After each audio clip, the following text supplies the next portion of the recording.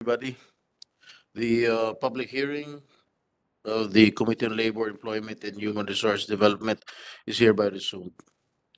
Noong uh, nakaraang Miyerkules ay sinimulan na natin talakayan ang uh, Senate Resolution number 692 na inihain ni Senator Raffy Tulfo at ang isang kaso na kaugnay nito ng kaso ng mga dating manggagawa ng Liberty Transport Corporation na ngayon ay kinakatawan ni Mr. Lilio Bueno. Nalaman natin hanggang ngayon ay hindi pa din napupunta sa pagmamayari ni na Mr. Bueno ang lupain na, na marapat lamang na iginawad sa kanila ng hustisya matapos nila manalo sa labor case na inihain nila noong noong pa 1996. Nakita din natin kung paano naging uh, masalimuot ang kasong ito dahil sa pagkakasangkot ng DMCI narinig natin ang paliwanag ng uh, kinatawan ng DMCI, ngunit uh, mas maraming tanong pa ang nabuo. Kaya't nandito tayo muli ngayon sa pag-asang maliwanagan ang mga detalye ng kaso at sa huli ay maistu- maistupad na ang hustisya para sa mga manggagawa na kinatawan ng Ginoong Ruben. Higit sa lahat, layunin ng ating komite na sa pamamagitan ng kaso na ito, makita natin ang mga pagkukulang sa sistema upang ating naman bigyan ng solusyon sa pamamagitan ng paggawa ng batas at pagpapatupad ng mga pulisya ng ating mga kasamahan sa pamalaan. Okay, Mr. Committee Secretary, can you please uh, acknowledge the- our resource persons for today? Good morning, Mr. Chairman. Uh, Invited resource persons who are present for this morning's continuation of the inquiry of the committee are the following. From the Department of Labor and Employment, Attorney Marlon de Alban, Legal Service. Together with Attorney Morris Lim from the Legal Service. From the National Conciliation and Mediation Board, the OIC Director, Kim Roque Aquino from the National Labor Relations Commission, Commissioner Hernan Nicdao. From the Taguig City Register of Deeds, Attorney Sedfrey Garcia, the Acting Register of Deeds. From the employers groups, uh, the DMCA Project Developers Incorporated, Mr. Alfredo Austria, the President.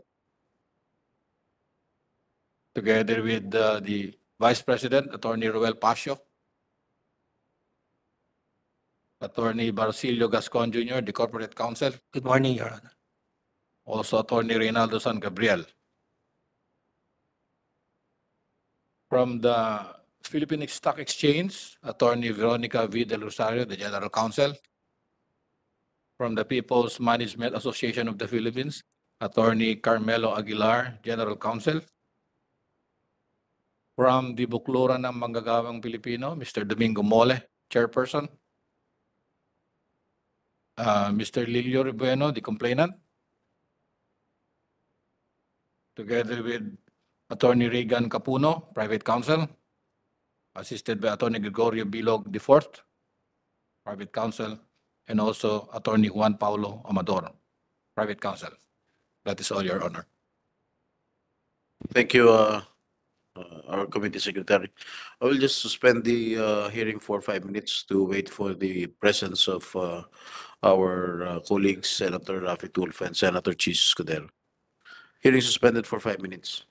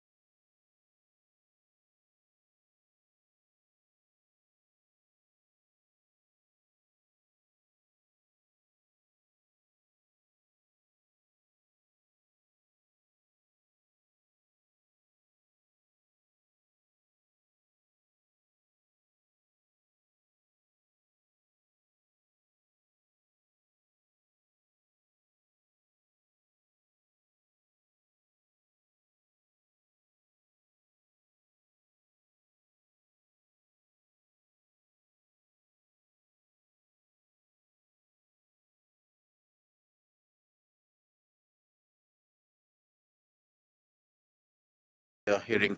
Uh, anybody of you who wishes to make an opening statement? Yung complainant, ah, Mr. Rubueno, nung nakaraan linggo, hindi, hindi kaya ta nabigyan ng pagkakataon makapagsalita. Gusto niyo bang magsalita ngayon tungkol sa ah, kaso? Okay, sige.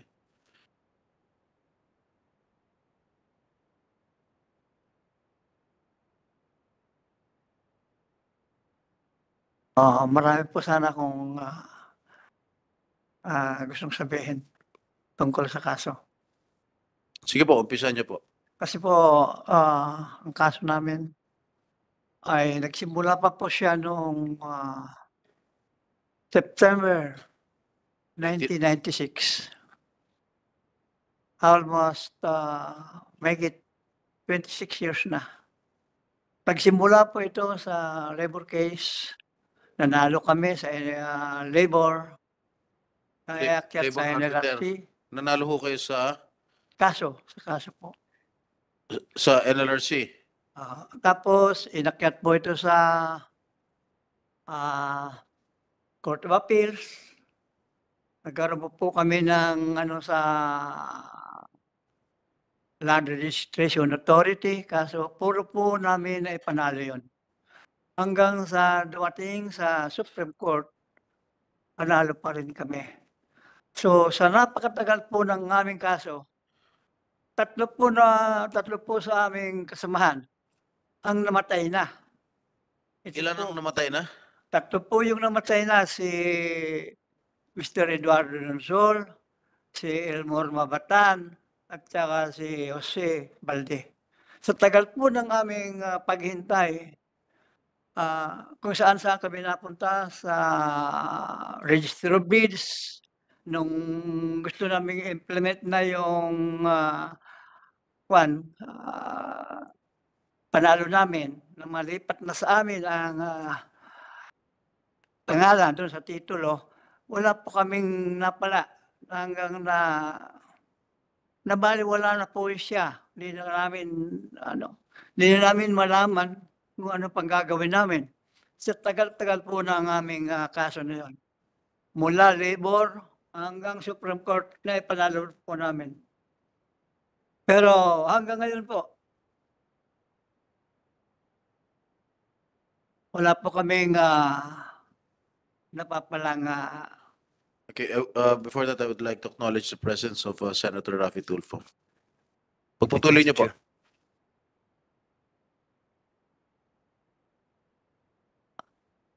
Sa ngayon po, ah, gusto ko po sanang ah, mabigyan ito ng ah, pansin ng mga kinauukulan na yung pagiging delaying tactics ng mga malalaking kumpanya.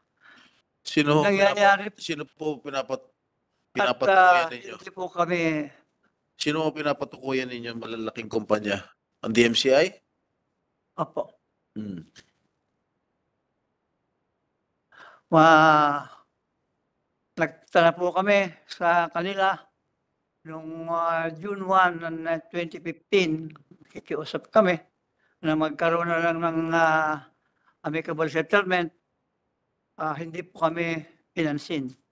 Nagpadala po kami ng sulat. Pumunta kami sa opisina nila. Pero hindi po kami in-entertain. Hanggang pinaghintay lang po kami hanggang sa ina inabot ng uh, uwian na. ng Ilang alas beses po kayo nagpunta sa DMCI at hindi kayo pinansin? Po. Ilang beses kayo nagpunta sa DMCI? Tatandaan ko po tatlong beses. Tatlong beses lang sa loob ng ilang taon?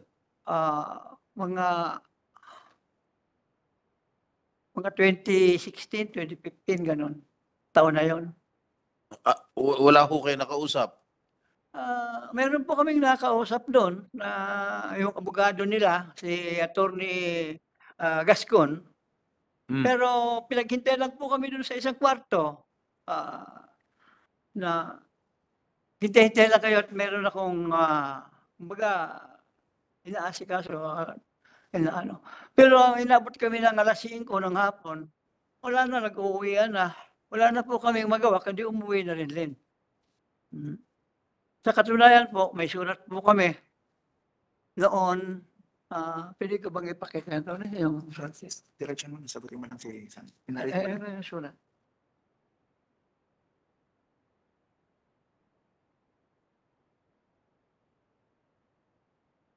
Ah, Your Honor, na very sure po ako dito. Papakita ko sa inyo.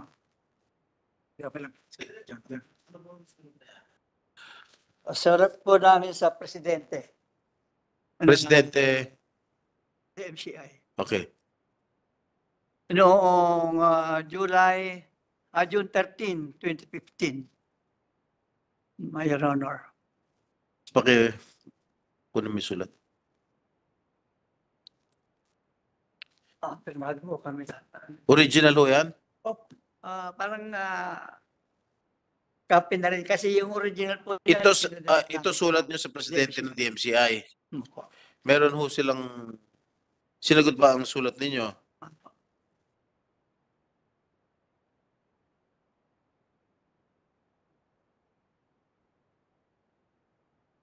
Hindi po. Hindi kayo sinagot. Ito sulat nito. Okay. So, meron pa ho kayo yung sasabihin pa? Ah,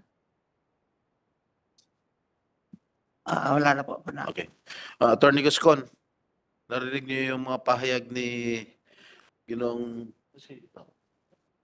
Ginong uh, Rebueno? Meron ka bang uh, nais uh, sabihin? Uh, yeah, good, uh, good morning, Your Honor. Uh, we acknowledge that Mr. not only that uh, the group of work, these are group of workers, Your Honor. It is not only Mr. Bueno who co compromise these uh, workers, where in fact the uh, other workers, which is the main complainant, Ms. Nelia Bernadas, are here. And I think uh, Mr. Bueno is not, uh, I'm sorry to say, but uh, he is not truthful to what he is uh, he is narrating How, about. how, how did you say that he is not truthful? Uh, Your Honor, uh, you, you don't raise your hand, okay? Because you're not included in the resource person.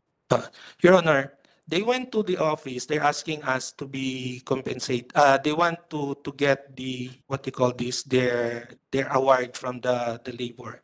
Unfortunately, uh, they're saying that, uh, the, that we have to pay them.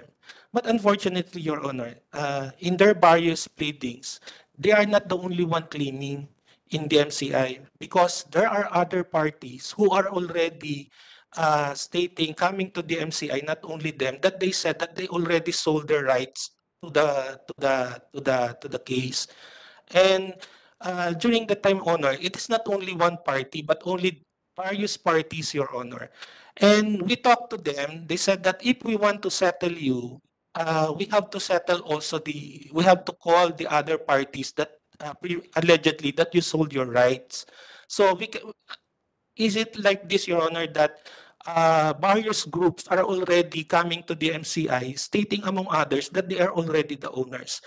We, we, we conveyed to them that uh, in order to avoid any, any suits or any conflicts anymore, Your Honor, we ask them that all parties should come together and we go to the, to the labor arbiter to, to, to settle once and for all their claim. Because we told to them, it is unfair to the MCI, we will going to pay you. And then here comes another group of parties who will going against us. So we asked them, if, if, if in case we, we, we convey to them that we're really willing to, to settle with them, but we, we are asking them that we settle in front of the labor arbiter, Your Honor.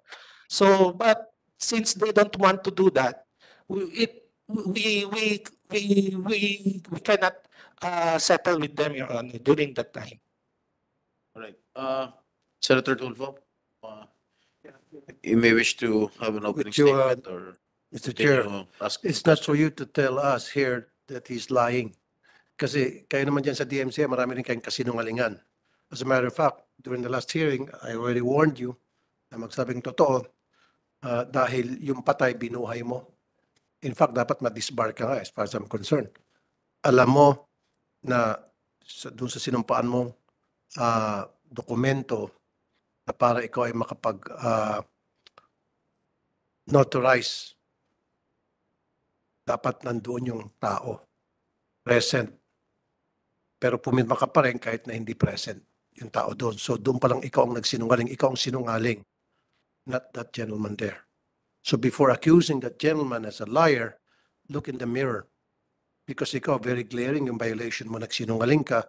Pinirmahan mo doon na nasa harap ko yung pinano, nagpapanotarize ng dokumento when in fact those two persons were not there. So you're the liar, not him. You understand? Okay. Now, my question, Mr. Chair, is for the president. Is he here, president of uh, the MCI? Are you the president and CEO? Of of which department? Ano po? Uh, Mr. Austria, sir, Yes. presidente po kayo ng buong TMCI Corporation Company or certain Sa DMCI Project Developers Incorporated, yun, yun po yun. project? Ang pinapatawag ata dito yung overall president CEO ng TMCI, Mr. Chair. Bakit ang pinadala sa atin yung developer? Project Uh, developer. Where is the, the owner of uh, the MCI? Di ba yun ang pinasupina natin, pinatawag natin? Okay, you take your oath. Oath na. Sige. Comsec, please administer the oath. Please raise your right hand. Do you swear to tell the truth, the whole truth, and nothing but the truth before this committee investigation of the Committee on Labor? Please take your seat. Are you privy to all transactions regarding the MCI? Uh, Not all, but uh. What do most you mean not all? transactions. Most transactions, not, Because because if you cannot answer in behalf of the MCI, I'll let you out here, let you go out here. Are you willing to speak for and in behalf of the MCI? yes, Your Honor. All right. Kasi ayaw, ang ibig sabihin lang po ni uh, Mr. Chair, eh, baka sabihin mamaya, ka-hire lang po sa akin two months ago or two years ago, hindi pa po ako uh, presidente niyan. So we don't want to have that kind of answer from you. So how long have you been working with the MCI, Mr. Austria? Um, since nineteen ninety, well, since nineteen ninety-nine, nineteen. That's good enough for me. Okay, nineties, because that's how it all started. Now, since you're the president of uh, DMCI Project Developers, that was your position from the very beginning, right? Um, no, Or you rose from the ranks? I was. What was your manage- position back in the nineties with I DMCI? was initially managing director, but then, Managing director, what do you do as managing director? well, it's almost the same as being president, Yeah, actually. tell, tell us, wh- what does a managing director do? I was, uh, I was. What, uh, what are your responsibilities?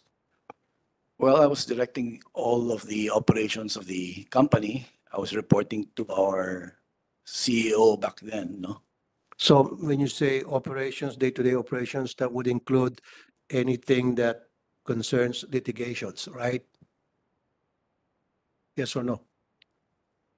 Um, yes, Okay, good.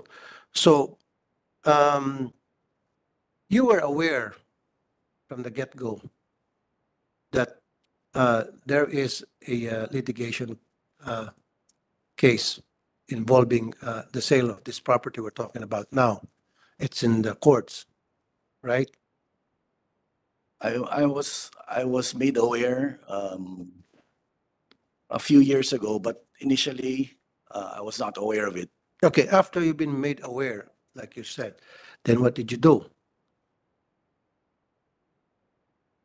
I was aware, uh, just, um, I think two years ago or something, you know, but, uh, because we Two have. years ago? people- I thought Yeah. you said you were with DMZI Correct, since nineteen ninety-nine or Yeah, something, yes, right? but. So since- you mean to say na you were just made aware two years ago?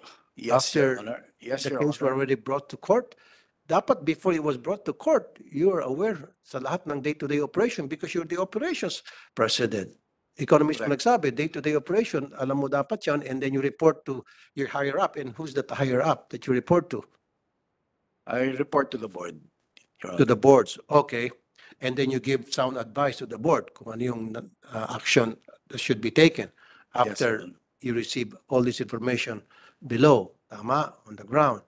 Now, ulitin ko ang tanong ko, nalaman niyo po na may problema yung lupa. Okay, it's, it's on litigation, it's under litigation. Ano pong ginawa niyo? Wala Nalaman- kayong ginawang, ah, hindi niyo po kinausap yung board, hindi niyo kinausap yung mga concerned ah, mga department, units, and people para sabihin, hey, mukhang delikado tayo ito, mainit to. Diba? And then bring up to the board kung ano yung maging ah, decision ng pangkalahatan ng nakarami, majority.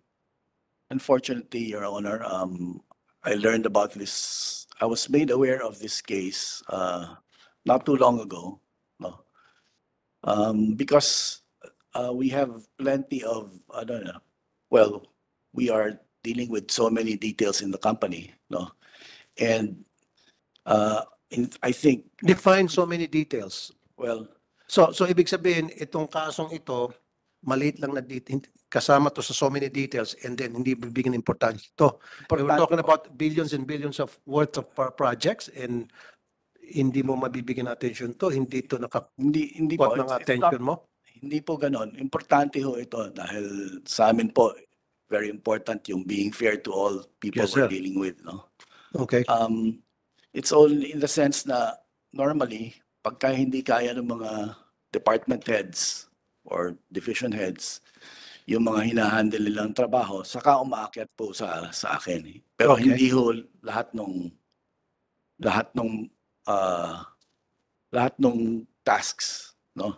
Nakakarating po sa akin. Okay. So, nung makarating sa iyo yung kaso, ano pong ginawa niya? But before that, paano ipinarating sa iyo yung kaso? How was it explained to you? And who did the explanation?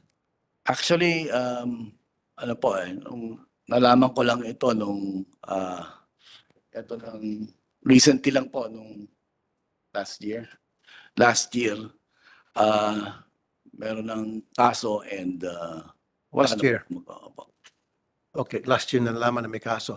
And he was the one who told you about the case, right? And then, ano po, paano niya nasabi sa inyo? How was it explained to you? Si attorney, yung, yung, hindi yung si attorney Gascon, si attorney Pasio, siya yung head ng legal I department know, po namin. I Siya know. po yung nag, Kaya, kaya nga, I, I want it from your, from your own mouth, from your Yes. own words. yes. Paano nila ipiniliwanag sa inyo yung problema? Paano nila sinabi? Paano pagkasabi sa inyo? Well, sabi po nila na um, may kaso and uh, they they are talking with the parties involved, no? And um, na-settle naman daw nila yung ano, yung kaso. Na-settle? Opo. Uh, define settle, na, na-settle Well, na.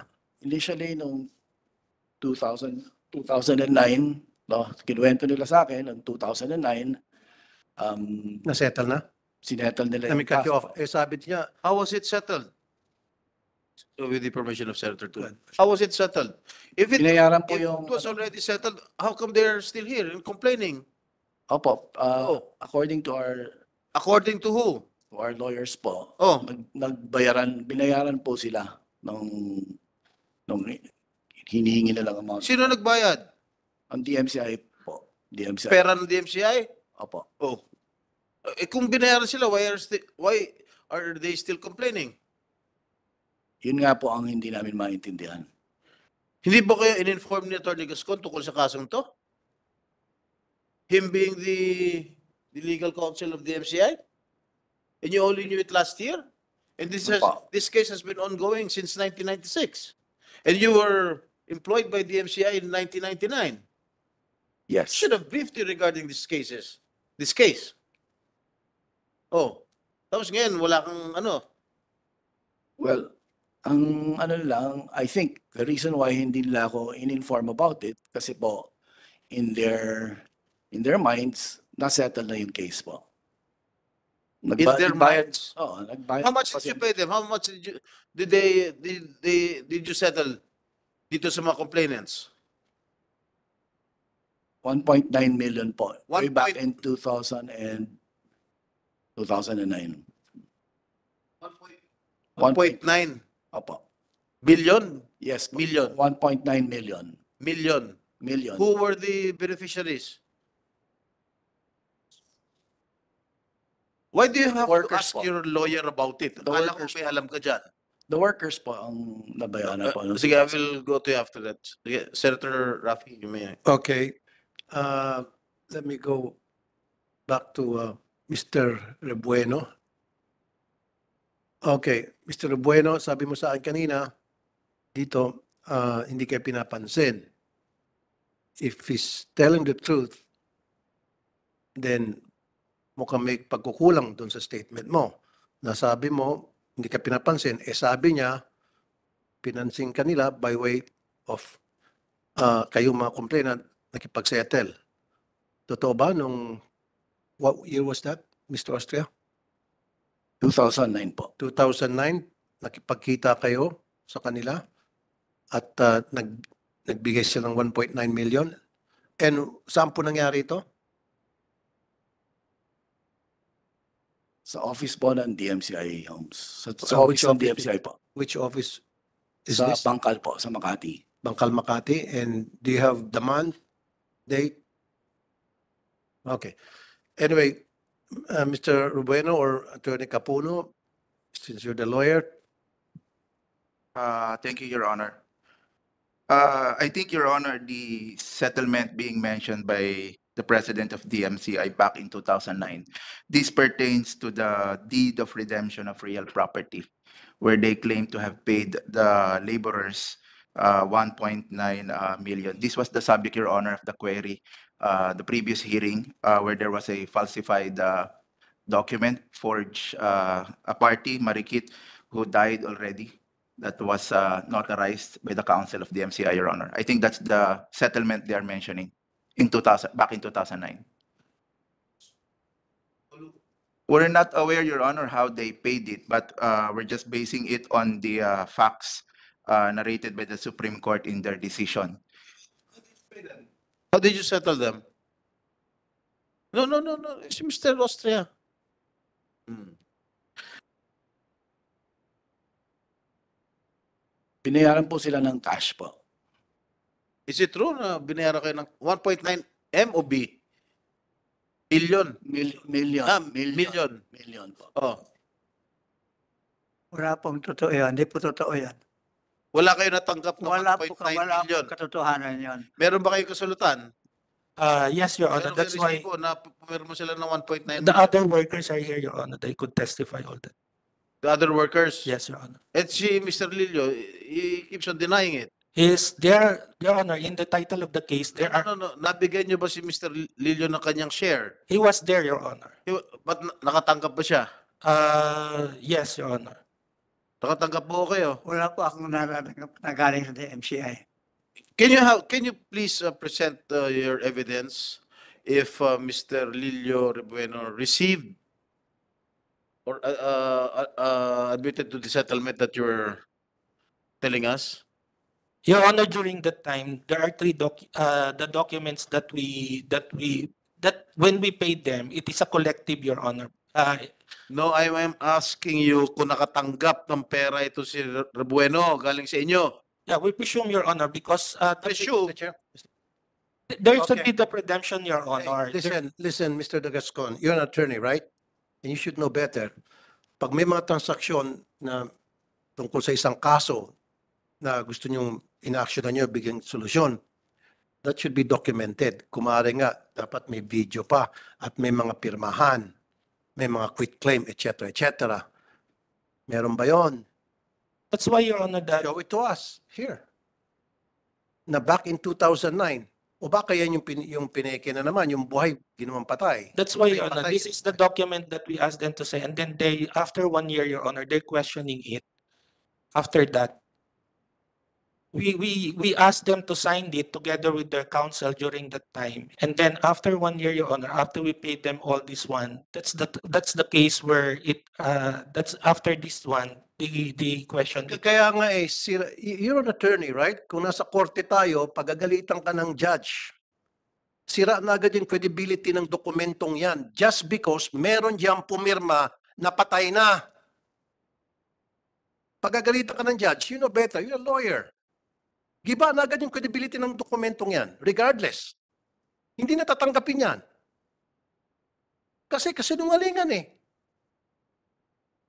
Fraud. Fraudulent. Involved yan sa dokumentong yan. So, who would believe that? And it will not be accepted as evidence sa korte. why did you sign a public document or notarize a document uh, knowing fully well that some of these uh, workers has already passed away?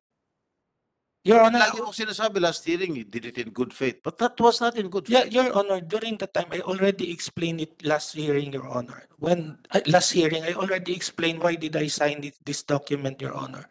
I, I, I, Because, okay, I'll cut you short ha.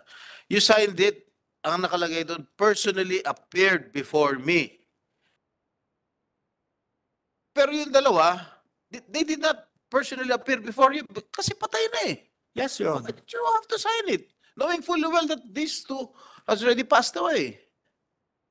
Again, Your Honor, that's why in, in, in, in my notari- notarial register and notary book, why in fact that book, Your Honor, was reported to the, to the, what you call this, Your Honor, to the notarial section of the city of Makati. I clearly indicate in there, in that document, that, that- that these two person did not appear to me. Hindi, uh, yeah, si Attorney Kapuno, can you please shed light doon sa sinabi ng 1.9 million na binayaran dito sa mga workers? Uh, Your Honor, I, I apologize to the committee. We're not yet the council at that time, Your Honor, back in 2009. We're only aware of this uh, copy of deed and or certificate of redemption of real property, which is a subject of the discussion of the Supreme Court in their decision, Your Honor. And in the said uh, acknowledgement portion of the said document, it only stated here, see attached ID. Uh, it says here, if I may quote, before me, a notary public for and above the jurisdiction, this 29, 2009 at Makati City personally appeared and then see attached ID. That is uh, the only note in the acknowledgement portion of the deed, Your Honor. To that extent, Your Honor, that is only our personal knowledge. All right, thank you, Attorney. Okay, uh, Mr. Austria, sinabi mo nag, uh, you settled the workers in the amount of 1.9 million. Am I, am I correct? Is that what I heard from you? Yes, Your Honor. Mag, paano naging hatian? Ano naghatian po? Paano naging hatian doon sa mga workers? How much did each worker receive out of this 1.9 million I'm not that personally you aware. settled, that you allegedly settled? I'm not personally aware po, but uh, I presume na it was equally divided bef- among them, among the workers. Attorney Gascon, pwede mo ba sagutin yung tanong ko? Yes, Your Honor. Hmm. Magkano naging hatian bawat manggagawa Uh, during, during that time, Your Honor, I, I have no personal knowledge how they were going to divide it because uh, the the one that we are paid is all the claims, Your Honor, as the awarded by the NLRC, Your Honor. Okay, who gave the 1.9 million? I'm the one who gave it, Your Honor. To their Kanino? to their to their counsel in the presence of the of the of the complainants, Your Honor. Sino yung counsel ng complainants? During that time, Your Honor, he was represented by uh uh uh Villamor Mostrales, Your Honor. And we're Villamor Mostrales, Your Honor. Villamor? Mostrales, Your Honor. The first name is Villamor? Uh, Yes, Your Honor. You gave the 1.9 million to them, ah, to him. Yes, Your Honor, with the presence of the other workers, Your Honor. How many workers were present? Uh, during that time, there are six. Six, including Rebueno, Yes, Your Honor, he was there. but he did not receive any amount. I, with regard, with regard, um, how, how they receive it or how they will divide it, I don't know, Your Honor. Where in fact, Your Honor, the other workers are here. Okay, binigay mo yung 1.9 million kay dun sa council nila. Hiningan mo ng resibo. Uh, we didn't ask receipt, Your Honor, because, uh, the documents, as I have said before, uh, all the documents that we, the receipt that the document, the, the documents that they signed is, uh, as the receipt that they, that is all our proof, Your Honor. Kasi uh, I would tend to believe Mr. Rebueno dahil sinabi niya wala siya natatanggap. E di, ikaw rin, wala kang, resi- wala kang proof na tumanggap itong si Mr. Rebueno ng, ng kanyang share out of the 1.9 million. Uh, it's the, deed of- uh, ag- again, Your Honor, that, the, our, our only, uh, proof is the one that they signed that which after which, uh, after one year that they questioning. Where in fact, Your Honor, uh, if, if, if, uh, if, if the committee, uh, of the chair, uh, what you call this allow, uh, the other complainants can testify on it. Wait, uh, before that, I would like to acknowledge the presence of uh, Senator Cheese Escudero. Pwede makasingit, uh, Mr. Chair. Senator Rafi, Okay, di ba pag may mga settlement tulad niyan, ah, merong litigation doon sa lupang pinag-usapan natin ngayon, property. Ah, at sabi mo po, Mr. Austria, you were made aware just two years ago. Pero, pero wala ka pa pala, no- ah, pero nandun ka na sa ano, sa DMCI, right? I was, I was in Pag DMCI. merong mga desisyon ng settlement, Opo. ano dapat ang nangyari bago magkaroon ng settlement? Mr. Attorney Gascon, you can answer. Pinagpapaalam po nila sa, ano, sa Sa, duly authorized uh, And- persons. who is, who are these du- duly authorized persons para i-bigyan ng green light ang settlement? In, in that, in that particular case po, ang, uh, nagpapaalam po sila Kanino silang papaalam po? sa, sa treasurer po namin, who is also Okay. a member of the board. Bi- Bukod sa treasurer, kanino pa po? Dapat Sa mainly doon sa treasurer po namin, siya po ay member. of the treasurer board. lang? Siya po ay member of the board also. So isa lang. Ilan ba ang members of the board? Right now, there, I think there are nine. Nine. Di ba karapat dapat lang lahat ng members ng board ay mapagsabihan at dapat magkaroon ng botohan at board resolution para aprubahan yung magaganap na settlement. So meron bang board resolution na naganap? Ah, hindi po kasi lumabas? uh, ang board resolution po is authorizing our treasurer to to handle such. Kaya nga, so meron bang yung board resolution authorizing the treasurer to handle that settlement of 1.9 million? Ah, wala po, maliit lang po Oh. kasi yung amount kaya hindi po kailangan ng board Maliit resolution. lang pero malaking kaso ito. Opo, pero yung board So ibig resolution po- sabihin, so so hanggang saan ba yung malaki sa inyo na para malaman magkaroon ng res- resolution? Hanggang saan ba yung maliit? Define maliit and define is malaki sa terms po ninyo dyan sa DMCI.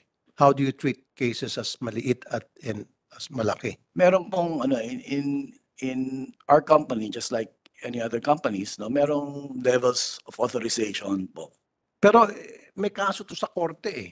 Di ba? yes And and that the board must have known it. That this, Yung- there is an ongoing case and this case is being settled right here, right now.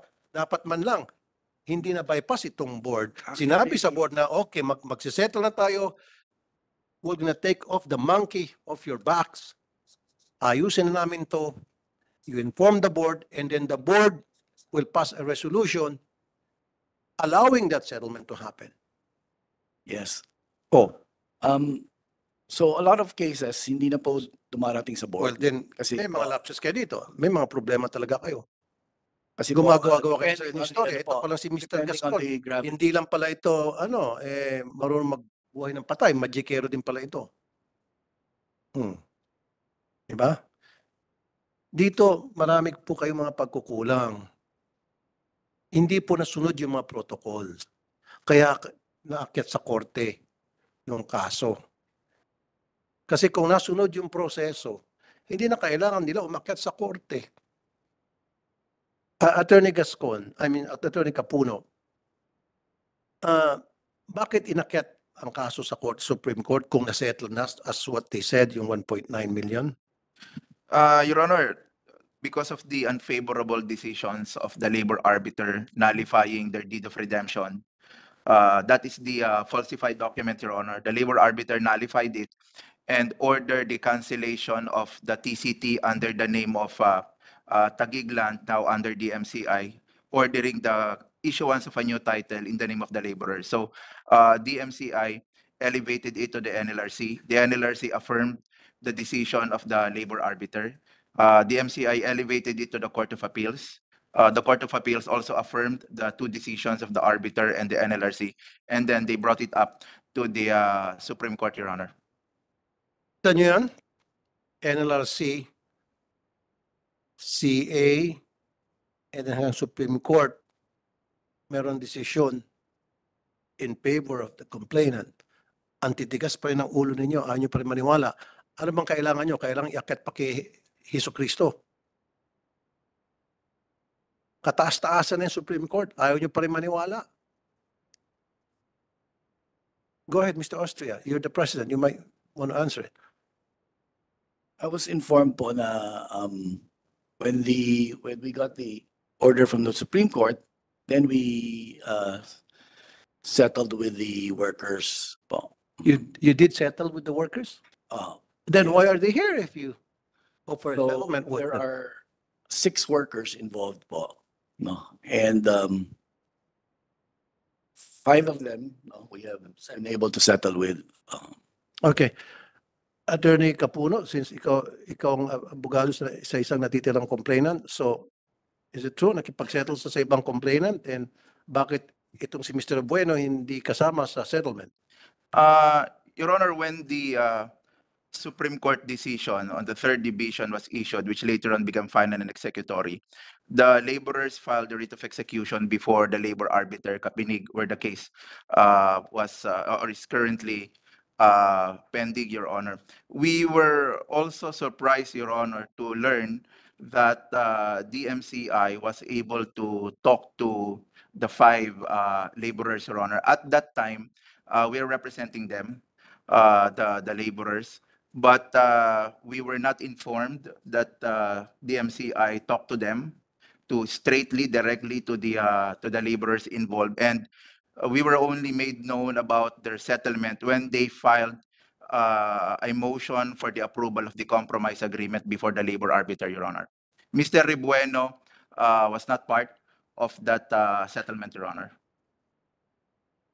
We were surprised, we were caught in surprise, Your Honor, to learn that uh, MCI uh, went directly to the laborers for the settlement, Your Honor. Ano ba ibig sabihin mo, they went directly to the workers? Ibig sabihin, pinayaran DMCI? Uh, usually, Your Honor, in, in a case pending before any agency or tribunal, when there are talks about settlement, the usual practice is for the lawyer to talk to another lawyer representing the uh, laborers. That's the usual practice, Your Honor. But in this case, Your Honor, we were surprised that uh, they went directly to the laborers. So again, di nasunod yung protocol. So talagang mahilig kayong gumamit ng guerrilla tactics dyan sa DMCI. So dapat lawyer to lawyer, alam mo yan, bilang isang abogado, bilang respeto sa kapwa abogado. Di ba? Dapat inimpormahan mo yung abogado nila na, okay, Panyero, yung apat mong kliyente, makikipag-sell sa amin, gusto bang sumama para mag-witness, etc., etc. Hindi mo ginawa. Talaga mahilig kang, talagang madidisbar ka na din di oras mo. No, Your Honor. Uh, when when uh, this case are uh, when the Supreme Court already uh, what you call this uh, issued a resolution in first division that uh, there is uh, what you call this that the workers are entitled to one one six uh, one third of the property, Your Honor. Uh, a cert, uh, their lawyer, Attorney Arellano, uh, which is their main counsel, Your Honor, uh, what you call this, uh, came to us and wrote a letter to us, Your Honor. We, we are keep, keep on saying, Your Honor, that we cannot, uh, we cannot, uh, we cannot go, we we cannot talk to you because under the, what you call this, uh, the workers as, as, uh, presented to us are the, the, the council are still the, the Attorney Kapulong or the Sigon Your Honor. Uh, because of that, Your Honor, uh, we, we asked the labor, during the, recently, Your Honor, we asked the, we, we were very confused, Your Honor, who are the, the, the, the council of the workers? Because as per, uh, Sigon Reyna or Attorney Kapulong, they're saying that they are the, the, the lawyer of the Okay, complainant. wait a minute. So, nung ah, nakausap niyo yung apat para aregluhin, kausapin, okay? Present ba yung mga lawyers nila? It's attorney, uh, Your Honor. We, we, we don't want to talk to, to them first, Your Honor, because as far as them. Hindi nga, hindi nga. Kaya nga, nung, nung ah, sabi mo, nag-offer ka ng settlement, kinausap niyo po yung apat na complainants na mga kasama ni Mr. Bueno. Yes, Your Honor. The, the So, lawyer is present, Your Honor. Informan niyo muna yung lawyers nila. Yes, Your Honor. Representing them. Yes, Your Honor. And were, you, you, you did uh, make sure na yung lawyer na yon talagang legally uh, Yes, Your Honor. uh, s- representative. Yes, Your No, Honor, because in, in the labor arbit, in the presence of, Gusto ko lang tanong mo lang, yes or no? yes, Your Honor. Attorney Capuno. So, Honor. ang sinasabi niya, hindi raw ikaw ang ano, ah, lawyers nung apat. Uh, Your Honor, in that regard, uh, if you'd like to comment on that, that there are certain inconsistencies already on the statement of the council because they said that uh, they do not know who actually represents the uh, complainants, and yet they proceeded on the settlement with the complainants and acknowledging a certain representation as their counsel, Your Honor. Where in fact, before the uh, there was a conference held before uh, labor arbiter uh, Kapinig, where the parties were asked who their counsel uh, was, and uh, three of them identified this representation, our law office, as their counsel, Your Honor. And yet, they proceeded with the uh, settlement without the assistance of uh, this representation, Your Honor. Attorney Gascon, would you like to react? Uh, Your Honor, uh, because we, there are two councils are representing the council, and so that's why uh, the labor arbiter on September eight, September fourteen, Your Honor, called uh, a hearing, Your Honor, in order for for to confirm who are the counsels uh, co-counsel of the complainant, Your Honor. And during that hearing, Your Honor, the the what we call this, the the workers uh, manifested with the labor arbiter that uh, they are that uh, Attorney Arellano is the real counsel, Your Honor, not the Attorney Capuno. And because of that, Your Honor, those who only who are represented by Attorney Arellano, uh, they're the one that we settled, Your Honor. Attorney Capuno? Uh, Your Honor, there was, Mr. Rebueno could confirm this, that they even reached out to Mr. Rebueno for uh, settlement without uh, the knowledge of his counsel, Your Honor. If Mr. Rebueno could be allowed to speak, Your Honor. Uh, yes, Mr. Bueno. Ah, Your Honor, ah, ang kaso po namin noon, simula, noong September 1996.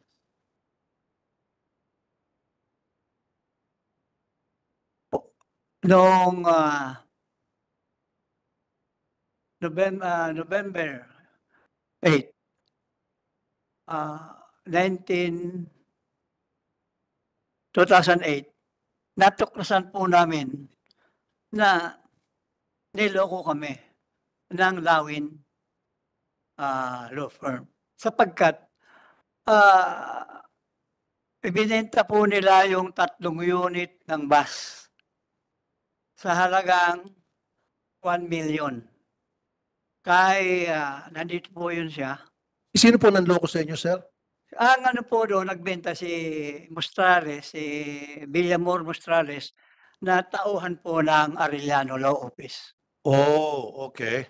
Ngayon po, nung matuklasan po namin yon na ito pala ay binenta noong ah, 2004, December 6. So, ibig sabihin, tira, 2004. tirador itong Ito ano nyo. po yung ano, gamit Yung po yung abogado aming nyo. mga Ano, ano pangalan Taking- ng law firm? Aril Arellano Law Office po. Tauhan po ito si ah, Villamor Mostrales. Okay.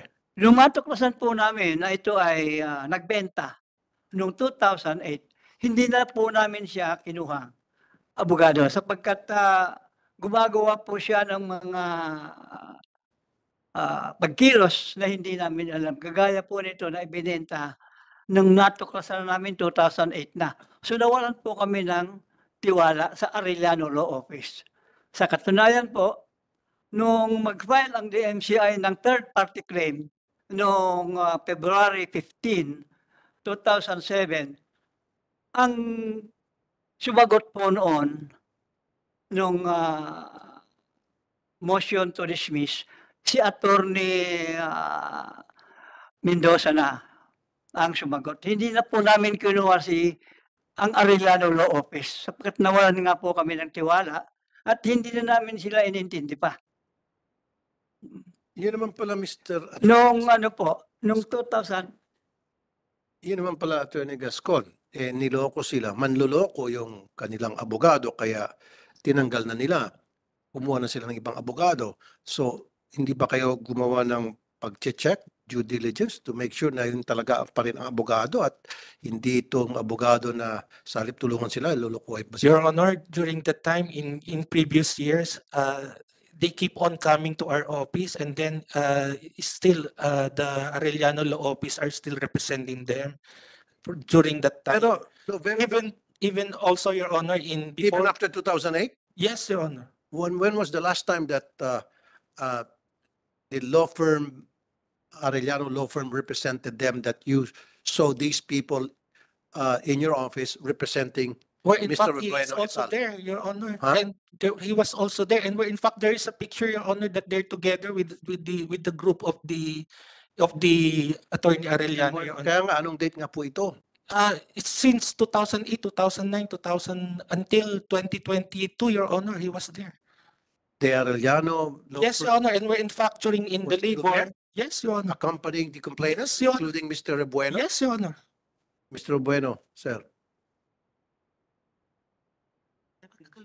Kasi kung totoo yung sinasabi mo, Mr. Bueno, na niloko kayo noong 2008 nilag dahil ah, binenta nga yung lupa at ah, sinibak nyo na yung kanilang serbisyo, sinibak nyo na sila sa pagiging ah, abogado ninyo, eh bakit, kung totoo itong sinasabi ni Attorney Gascon, eh bakit nakipagkita pa rin kayo sa kanila up to 2020? Mr. Attorney Gascon, up to what year? Up to, to, to 20, during the pandemic, Your Honor, they're Okay, still coming to our 2020 at pupunta pa raw kayo sa opisina kasama to si Attorney Arellano. Pwede ko kayo mag-react, ah, Mr. Bueno.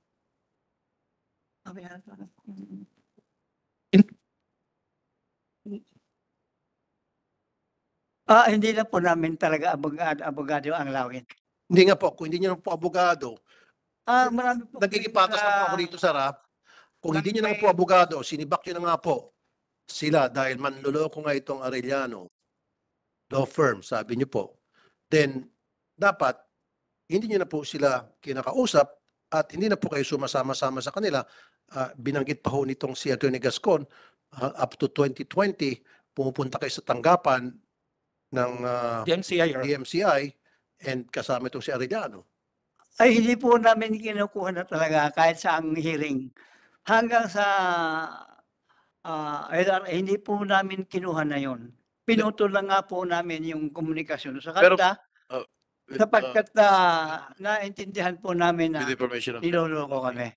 De, Ginoong Lilyo, ang ah, sinasabi ni Attorney Gascon, ang sinasabi nyo, pinutol nyo na ang inyong relasyon dun sa abogado no 2008. Pero lagi pa raw kayo pupunta sa opisina ng DMCI hanggang 2020. O totoo yan. At meron daw silang Minsan ah, napunta kami doon. Can I show the picture that he was in the office of Attorney Arellano recently? How recent is that? Present month, Your Honor, I think last month. Only this month, Your Honor, September, Nung nakaraang buwan October. daw, nandun kayo sa Yes, opisina sir, ni Your Attorney Arellano. Ah, Attorney Villamor. Attorney Capuno, you might want to help. Your Honor, I think that uh, recent photo pertains to the uh, recent set attempt to settle and compromise with the laborers where the MCI went directly to the laborers, Your Honor. I think that's the uh, the instance uh, the council was saying, Your Honor. tanungin na- Eh, Mr. Bueno, totoo ba na nandun kayo sa opisina ng DMCI nitong buwan na ito o nakaraang buwan? Nakaraang ah, totoo po yun. Eh, inaakit po ako Ah. na Sino po nag-imbita sa inyo? ah, mga Sino po kasama ko rin. nagpatawag sa inyo? Kusang loob ba kayo pumunta sa kanila o ah, may, meron po tumawag sa inyo para pumunta sa opisina Yung ng DMCI? samahan ko po sa kaso. Sino na- po yung kasamahan niyo sa kaso? Kala ko kayo nila nag-isa. Inibitahan po kami na di umano ay ibibenta yung lupa Okay. namin. Hindi. So inamin mo na nandun kayo sa opisina ng DMCI. Ano ang naging ah, areglo ninyo? Ang naging usapan ninyo Ang ah, usapan, kinukumbinsi po ako na na pumirma na ibenta namin sa DMCI ang lupa namin. When in fact, na-ibenta po namin na yun kay ah, Raymond Ang. Nauna na po yun. Hmm. Nung, so ah, ano si- ano sinabi nila? ah, sabi hindi niya, kayo pumayag. ah, ano yun natin ito, ibenta na natin ito sa kwan. Sabi ko, o sige, tingnan ko yung ano, tingnan ko yung ah, So sorry, Mr. Chair, ah, uh, yung Mr. Bueno, dokumento. Mr. Bueno, uh, you have to be very careful dun sa mga answers mo. If you cannot answer it correctly or properly, then consult your lawyer. Kasi nga po, noong tw- 2008, niloko ka na nitong si Arellano Law Firm. Bakit recently sumama ka pa rin sa kanila para makipag-negotiate o makipag-usap? Eh niloko ka na, di ba? Niloko na kayo. O ba't pa kayo makipag-usap sa mga mandoloko? Di ba, di ba natural noon, sandali po, naturalmente lamang po na kapag yung isang tao na niloko na tayo, huwag na tayong magtiwala sa kanila. Eh, sumama ka pa rin sa sa attempt na magkaroon ng areglohan. You might want to answer that, Attorney Capuno. Your Honor, uh, in that regard, because uh, uh, the MCI went directly to the complainants, Your Honor, to the laborers. Regrettably, we were not uh, Were you- aware. Were you the coun- counsel? K- Kailan po kayo naging counsel? Uh, si We Mr. were Bueneta? engaged, Your Honor, starting June last year, 2022, Your Honor. 2022. So, noong 2020, hindi po kayong Not counsel. yet, Your Honor. So yung tinanggal niyo po, kasi sabi niyo po, niloko niyo, niloko kayo ni, ng Arellano Law Firm. Sino pong kinuha niyong abogado, Mr. Bueno? Meron bang kapalit na abogado kayong nilapitan, law firm? Pero Sino po yun? yun po yun si Atty. Vino uh, Attorney Mendoza. Mendoza? Ah, marami po kaming nakuha. Okay, so may, meron ba kayong dokumentong pirmahan na kinukuha niyo po ah, bilang retainer at abogado niyo itong si Attorney Mendoza? Po kaming file yan. Okay. Wala, So, ko lang po Ah, itong ah, DMCI na si Attorney Mendoza ang bago naming counsel dahil itong si ah, Attorney Arellano ay niloko kami. Meron pa po kaming kinuha ng abogado si Atty. Mora. Attorney mm, Ah, Raul Mora. Mora, okay. Again, na na-inform ho ba ang DMCI na si Attorney Mendoza and Attorney Mora are these two lawyers who will be representing us from now on after 2008? Ano po yan? Meron ho ba kayong mga dokumentong pinirmahan na kinukuha nyo bilang retainer nyo itong dalawang abogado and na-inform ho ba itong DMCI? Attorney Capuno, eh, i-guide mo na lang. Eh,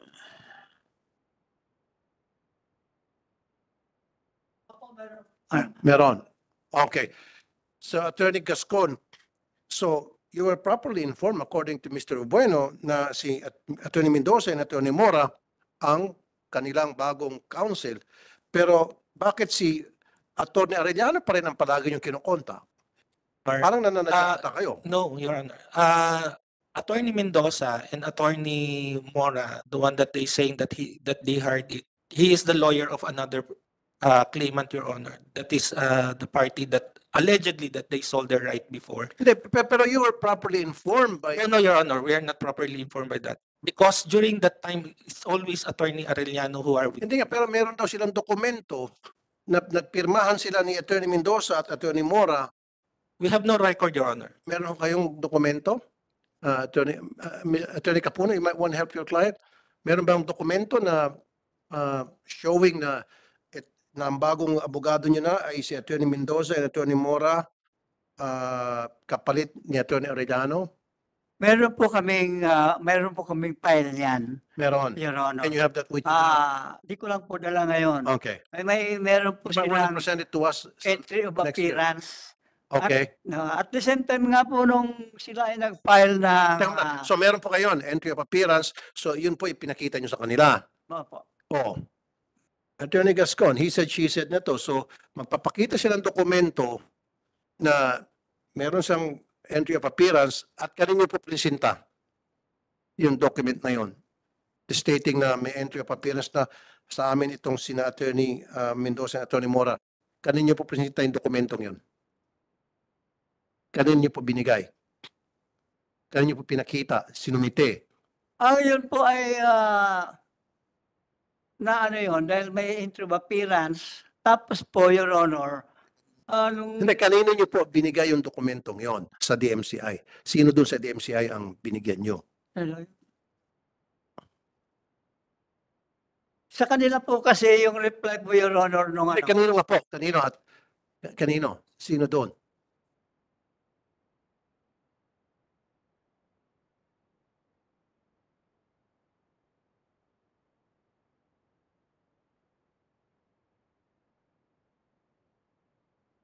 Yung sa DMCI po, meron po kaming kopya na ibinigay sa kanila. Okay, so may receive copy.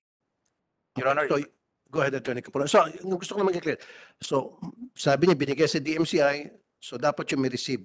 Diba? Yung parang ni-receive copy. Yes, Your Honor, We have that kind of document, Attorney Capuno. I'm sorry, Your Honor, if I may. Uh, Your Honor, in, in the usual practice, when a counsel uh, enters its appearance in court, the parties are furnished a copy of the entry of appearance. That would serve as a notice to the party that a new counsel is representing the Who, complainant. who is supposed to furnish that copy? Uh, the, the counsel filing the entry of appearance, Your Honor. So that is supposed to be Attorney Mendoza and Attorney Mora. Yes, Your Honor, that They is part of the uh, records of the, que- of the case, Your Honor. Okay, so since they're not here, we cannot ask them. My question kasi sana, if meron tayong kopya ng dokumento na na-receive yung ah, doc- document na yon na telling the MCI na they are the new lawyers, Yes, Your Honor. you might wanna ano, look for that. We'll, we'll check the records, Your Honor. Okay. Kasi kapag merong ganong dokumento, then may problema na naman tong DMCI. Pinaypas na naman nila yung mga abogado na totoo Your na Honor, yun talaga ang legit.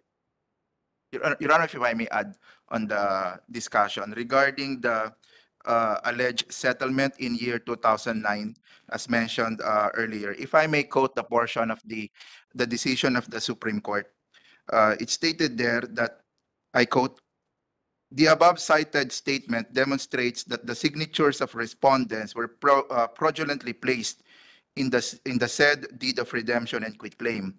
Villamor A. Mostrales, open close parenthesis, Mostrales, the representative of their previous counsel gave them 100,000 pesos in the guise that it was the proceeds of an open close close to the insurance from a a surety company and they were made to sign blank pages with their names. However, before the LA, it was shown that it was Attorney Gascon, the lawyer of DMCI, who gave the money to Mostrales believing that the latter was a lawyer. Evidently, the consent of the respondents was fraudulently secured in this said deed of redemption and quitclaim. These are the words of the Supreme Court, uh, Your Honor. Uh, if earlier it was mentioned that there was a settlement made in year 2009, but the findings of the Supreme Court stated that it is not 1.9 million that was given to the respondents, but only 100,000 pesos only. And it was not as a settlement of the labor case, but only alle- uh, the proceeds of an insurance from a surety company, Your Honor. I'm just lifting the, the Okay. findings of the Supreme Court, Your Honor. Attorney Gascon, tell me, tell us, nagsisinungaling ba ang Supreme Court? Doon sa inisyu nilang uh, statement? That's the finding of Court, but we filed, Your Honor, with that. Sino mas paniniwalaan ko? Ikaw, Supreme Court. Sino ang dapat paniniwalaan ko? Sige, sumagot ka. Be careful with your answer. Of course, Your Honor, it's the, it's the wordings of the Supreme Court. and- Exactly. There you go. Base sa sinabi ng wording sa Supreme Court, ikaw ay sinungaling. Sinasabi ninyo, dyan sa DMCI, na nagbayad kayo ng 1.9 million para sa lahat ng complainant. Pero ay, para, para areglo doon sa kanilang claim. Wala sabi ng Supreme Court, hindi, 100,000 naman binigay ninyo at niloko nyo pa. Hindi nyo sinabi ka areglo, kundi, repeat it again, Attorney Gascon. The 100,000 is for I quote, sir, uh, the hundred thousand in the guise that it was the proceeds of an insurance from a surety company. insurance from a surety company in the guise. See? Ibig sabihin, niloko nyo itong mga tao.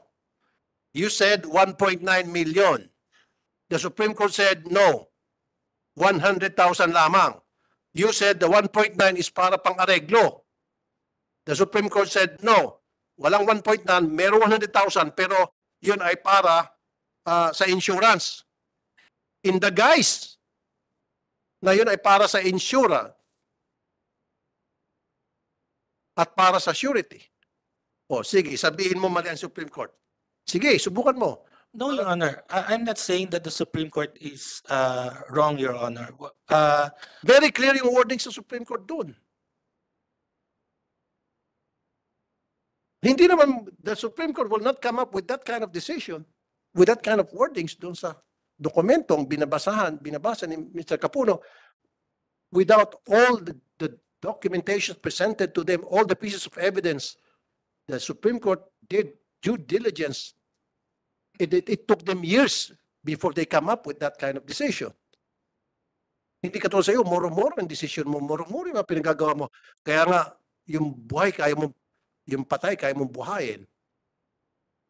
Your Honor, the, the one, uh, the one that would distribute that is Mr. Mostrales, Your Honor. It's not, it's No, let's talk about the Supreme Court ano decision.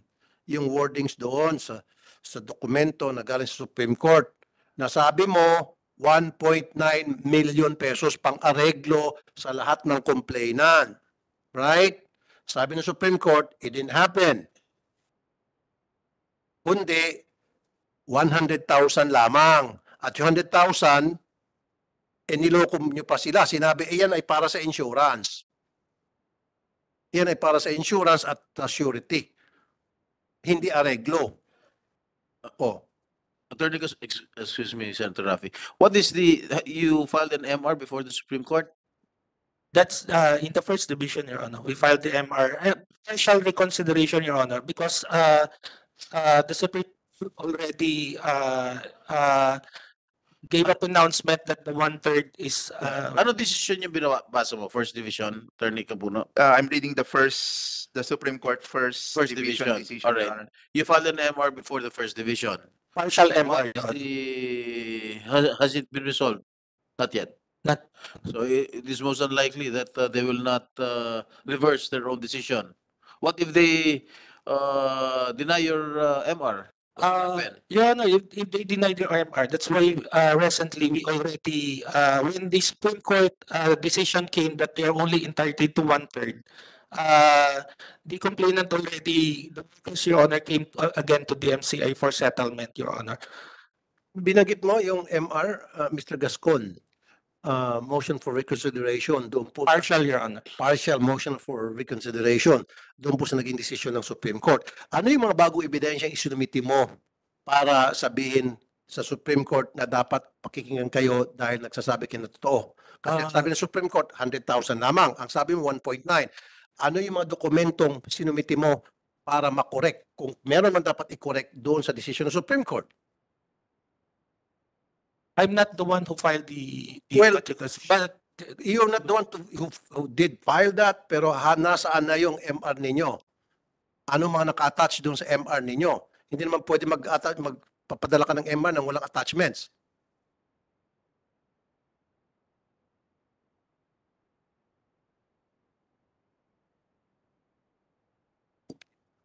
Um,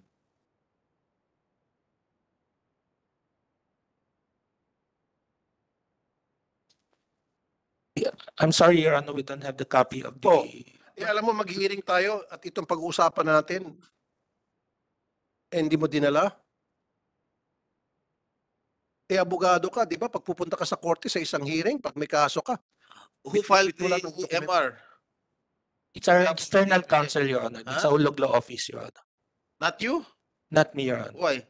I thought you're the lead counsel of uh, the MCA. Uh, we, we have our external counsel, Your Honor. Pe- Pero, pero kahit na Mr. Chair, kahit na hindi sila nag-file, at least yung pinile ng council Didn't before, they give you a copy of the meron dapat sila. MR? Uh, yes, Your Honor. It's in the office, Your Honor. So nasaan na po yung MR? Where, where it yun? It was in the.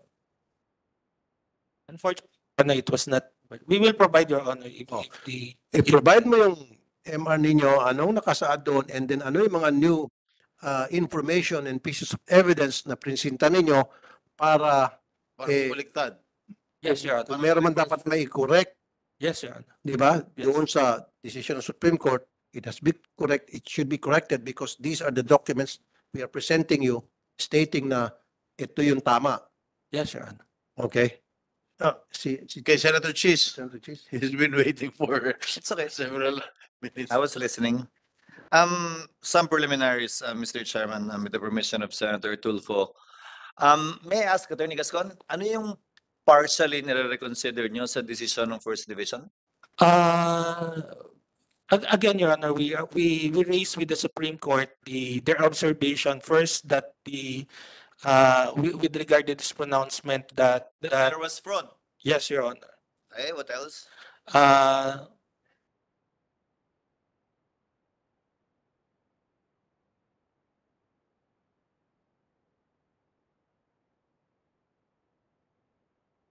We are answering, Your Honor, the, the observation of the Supreme Court about the fraud. We are explaining to them. Uh, we, hear- we hear we are, Your Honor. Yung conduct nyo lang. Pero hindi nyo kina-question na may one-third supposedly. Yes, Your Honor. Yes, Your Honor. When did you bring, bring up the issue of the one-third? Uh, Because throughout this time, even when you bought the interests of TLDC, you were presuming that you have the entire property. When did you bring up the fact that, um, they own one-third and you own two-thirds? Uh, from the very start, Your Honor, we, we, when they still, when, uh, there's already claiming that the one six, we are already arguing that they are What not. year? Maybe around, Your Honor, two, two thousand nine, Your Honor, two thousand nine. Two thousand nine. Yes, Um, yes, sir. Attorney Austria, thank you for coming. Uh, Mr. Austria, thank you for coming, sir. When was um DMCA Project Development Incorporated incorporated? What I year? be- I believe it's around 1995. 1995.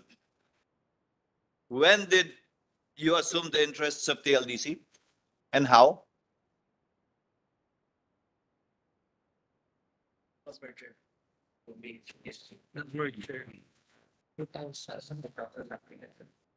Around two thousand, year two thousand through a merger. Year two thousand. Um, what was the process? You bought TLDC? Or was TLDC really owned by DMCA?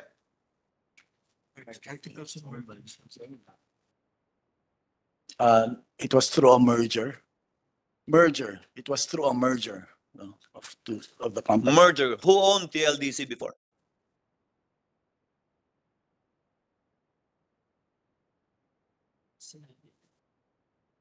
Yun yung huli. I'm not aware, Your Honor. Sir, when? I'm, I'm not aware, uh, Are the previous officers of TLDC still part of the MCI Projects Inc., sorry, Project the- Developers Inc.? sorry, the merger was in nineteen ninety-seven. Mm-hmm. I'm sorry, it's not in our records right now who the owner is. And I presume that the merger was done in pursuit of an interest of the MCI. Correct? Mm, Yes, Some preliminaries again, Mr. Chairman. DMCI Projects Develop, Project Develop, Developers Inc. is wholly owned by DMCI. yes, the DMCI Holdings Incorporated.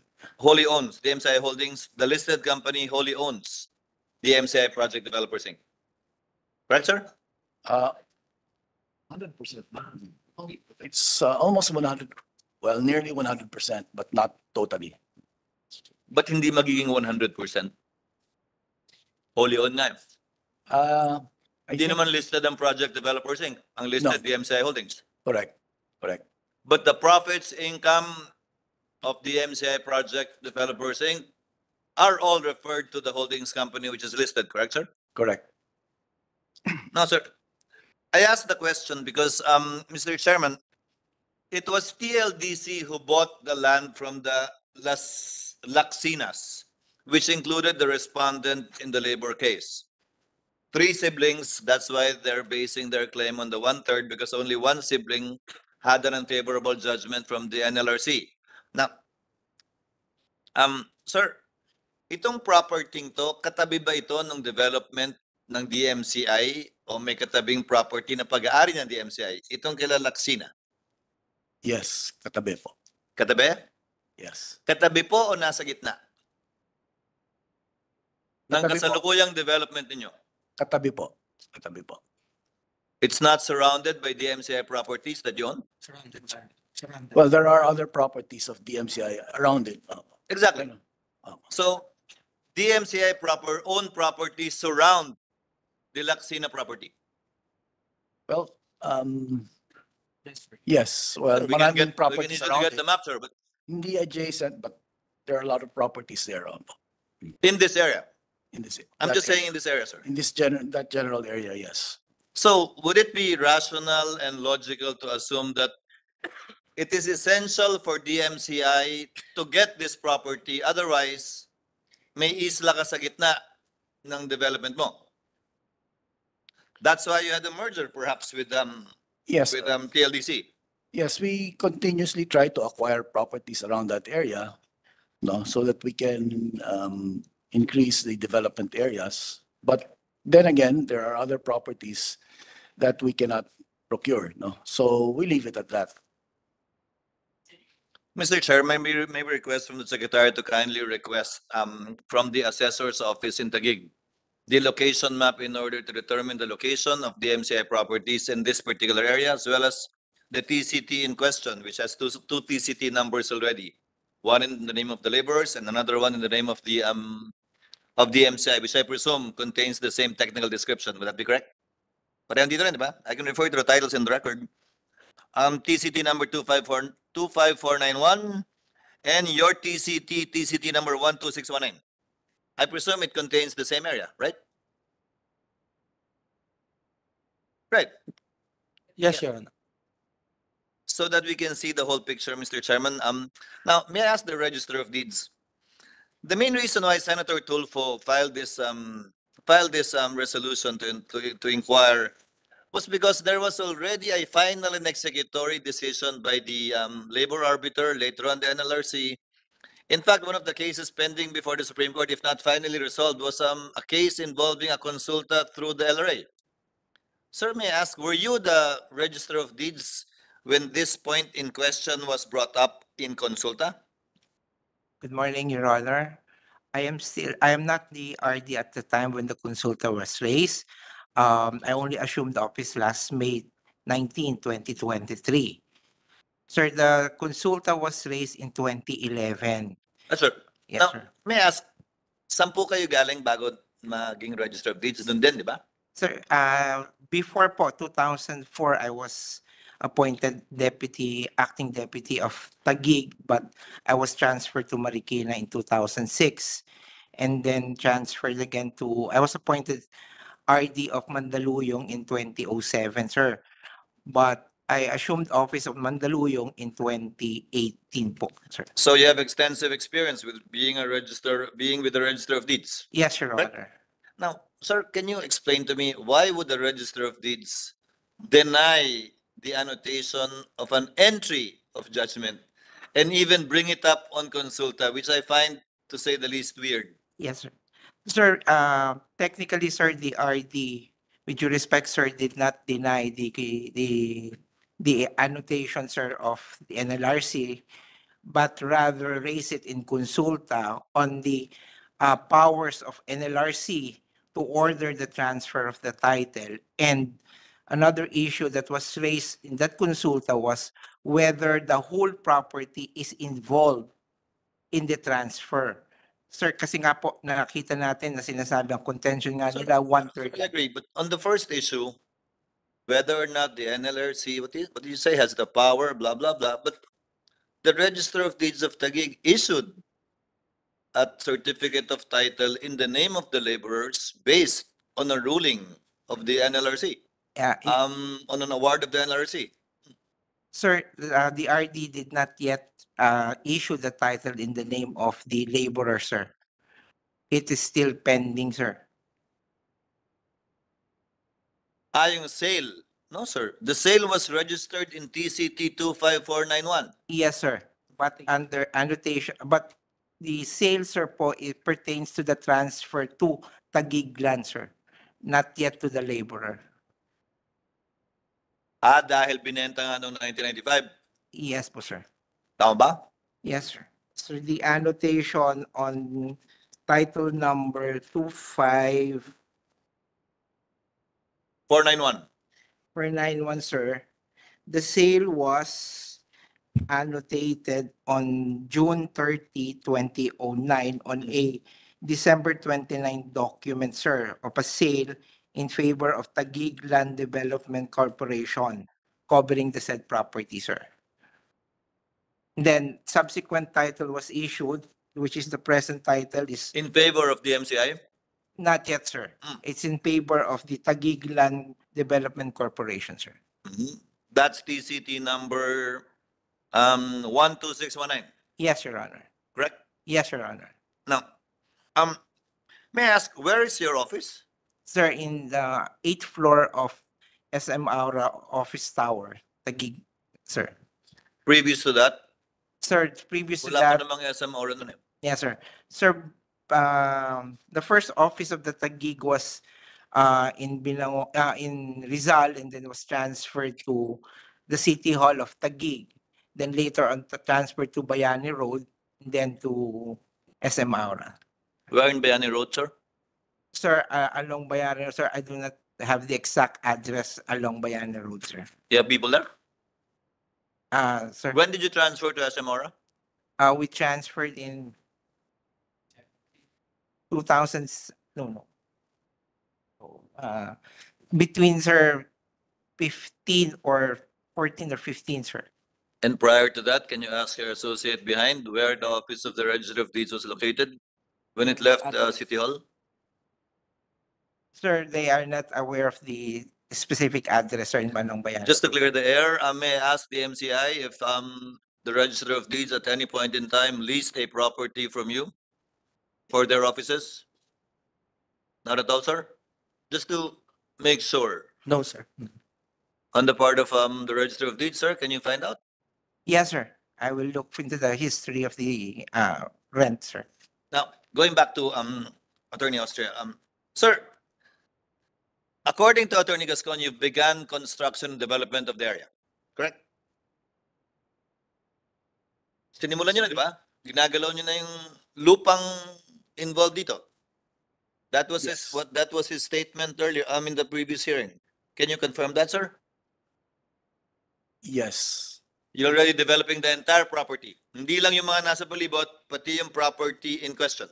Uh, not the entire property po kasi um uh, part of the property lang kasi I think, I believe the the title involved is uh, 1,600, 1.6 hectares and yung and it was owned by three people, no? So the Three one siblings. claimed is, yeah, three siblings. So one third lang yung issue dito na kiniklaim nung, nung iba. nung Yes, sir. workers. You're referring to the- the one point something hectares covered by TCT one two six one nine. Correct, sir? Yes, yes, sir. And it is your testimony that you already developing part of the lot covered by TCT one two six one nine. Yes. Which part, sir? Which part are we developing? Yes? Uh, yung, it's a small part of the, the entire, of that property, no? A very Who small. decided, who decided which part you will already begin development in? I presume you. Yes, our, upon the recommendation of our project development team, no, yes. So, according to your lawyer, they themselves assume, that's why they did not seek a reconsideration anymore, that you bought only two-thirds and that the one-third pertains to um, Honorato Laxina. And that is the subject matter of this long story, correct? We. Kaya nga I nagbayad kayo ng ilang beses, di ba? Sa mga laborer, sa abogado. I believe dahil- we bought the entire property po. The Sir? entire property, we, we bought the entire property, the entire one, but we didn't know that yung one-third pala is, uh, the subject of, uh, litigation. Exactly, sir. If the one-third is the subject of litigation and the decision is not yet final, at least from your point of view, because you're still seeking a reconsideration from the laborer's point of view, they think it's final and the entire property belongs to them. Um, at best, you have an inchoate share of two-thirds that is undisputed from your point of view, Yes. but still disputed insofar as the one-third portion is concerned.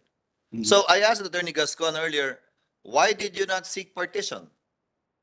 Who gave you the right to choose which area of the one point six hectares is your two-thirds? And this is the two-thirds of the laborers. Um, I don't quite get that. You're the ones seeking to file several, several petitions before the Supreme Court, the Court of Appeals, and wherever, um, which makes it, um, um, impossible for the laborers to actually collect what is due them. And yet you're acting as if everything is yours already. I don't get Well, that, sir. That's because uh, there was a settlement in, way back in two thousand and nine. There was a settlement between the company, DMCI. Sir, the- that is precisely the subject matter of litigation that you're seeking a reconsideration from. Yes. Um, again, why assume? What if you lose? What if you Well, lose? at- What will happen to your development? What will happen? What will be the effect to your, to the listed company? Um, that, um, is getting income from this particular corporation? What if you lose? I think it's too presumptuous for you to, um, assume that you will win in the cases. That's why we're already developing. At the very least, prudence will dictate that you would slow down on the development, at least of this area, and proceed with the development of the other undisputed areas. Well, Would that be we- correct, sir? Um, well, we didn't see anything irregular in it because there, there was a settlement, no, and, uh, Sir, it is your belief that there is a settlement, but it is still the subject matter of litigation up to today. In fact, your lawyers just recently filed a motion for, for- partial reconsideration precisely on that aspect, which called the actions of your, your lawyer, corporate counsel fraudulent. Um, so how can you assume that everything is okay when you yourselves filed a motion for reconsideration, which is, a- which is an admission that the case is not yet final and executory? well, I, I assumed it was all okay because, um, the title was with us and, um, I was not made aware of any, any particular risk related to the development. So you were advised na done deal na to. Yes. And on your end, kahit may konting kusot, I'm not blaming you, sir. ah. Meaning it's a risk Yeah. worth taking. I presume. Well, I was not aware of any particular risk. Kasi yung, yung staff namin, um, they, they go through the, uh, the project details, no? And, uh, everything went through them. They said it's okay. So, Sir, yung decision ng Supreme Court na nagre-reconsideration kayo stated that the deed of redemption on which you are relying your ownership of the one-third share is fraudulent. That's why you're seeking a reconsideration. yes. If you lose in that reconsideration, di ba sir? Yeah. E de, sasabihin one-third sa laborers pa dahil yung deed of redemption nga inaasahan nyo ay void and fraudulently executed. So, I will go back. Doesn't that put your company at risk? Developing, spending money already, getting permits, perhaps even already starting to sell. I don't know. I will ask that question later. And yet, may posibilidad na may isla nga equivalent to either one-third or the whole property na hindi ho inyo. At best, sir, you have an inchoate share in the property. Yun ang sure. From your point of view, you can be sure of that if you want to if you want to rely on the Supreme Court decision saying the laborers only have one-third. At best, you have a two-thirds inchoate share over the subject property, but not a definite part of the property.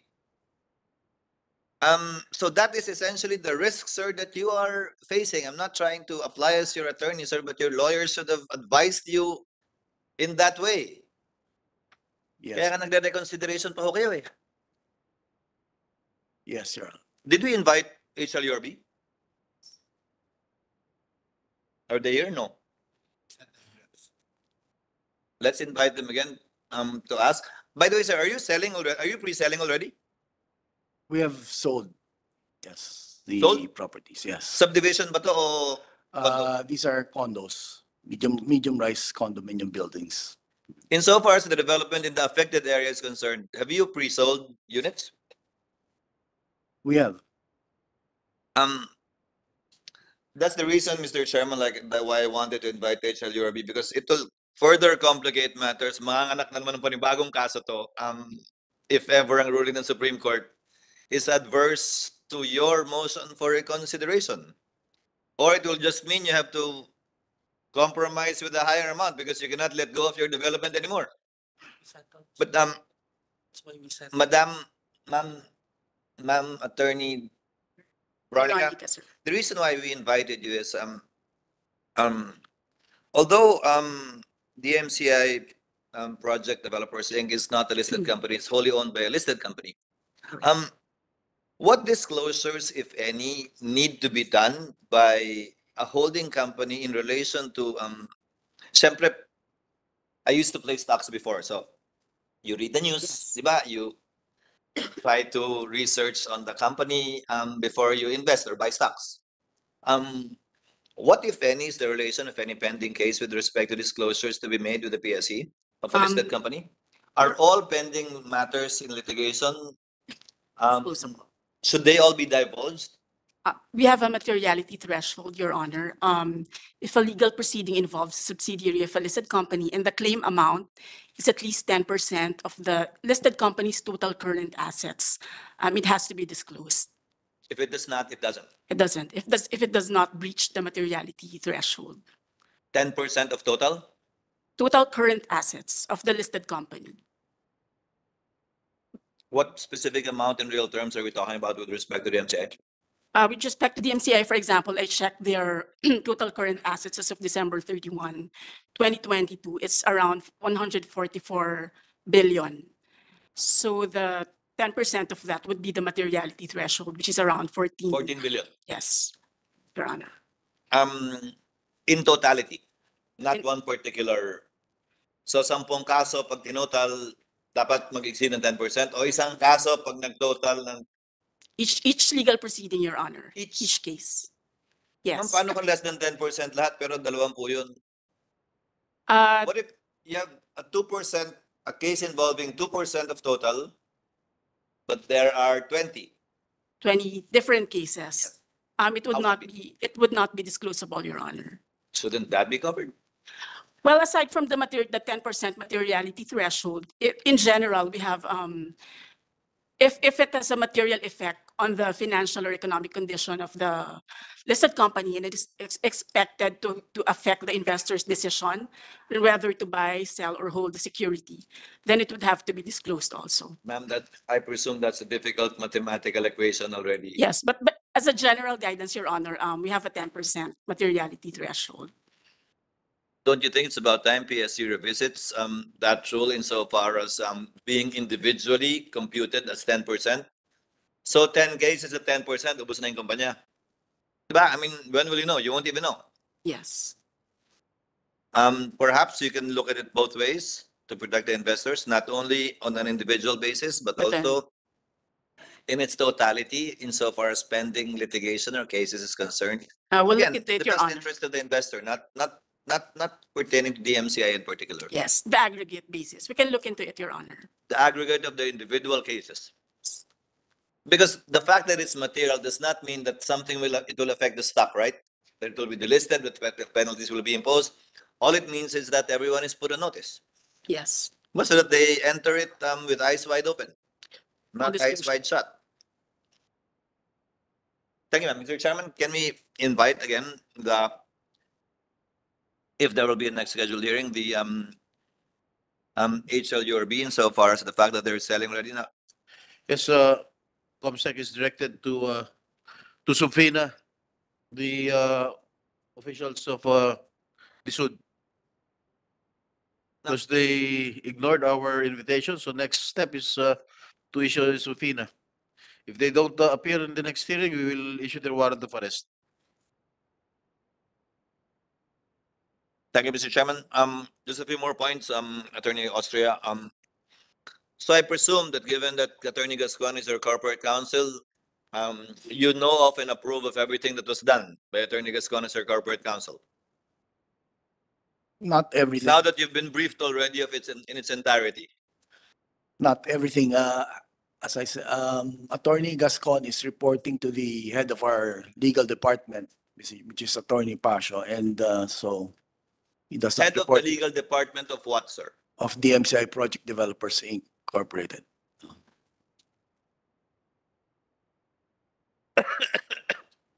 Is Attorney Gascon's title corporate counsel? Is he the corporate counsel?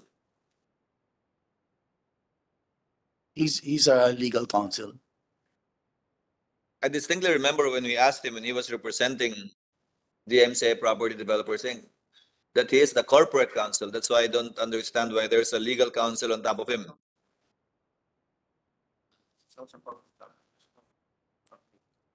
Well, he is also a corporate counsel. He's also the corporate counsel. Hmm. Yes, Does he sit in the board, sir? no, sir. He's not the corporate secretary.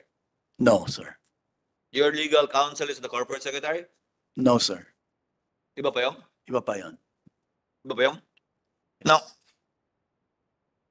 with the indulgence of um Senator Tulfo, just a few more um, just a few- few more points. Um, nung binili ng DMCI sa nag merger ang DMCI at TLDC, um, the main reason for that merger was the property, right? Is TLDC a singular property company? O may iba pang properties na interesado ang DMCI kaya kayo nag-merger?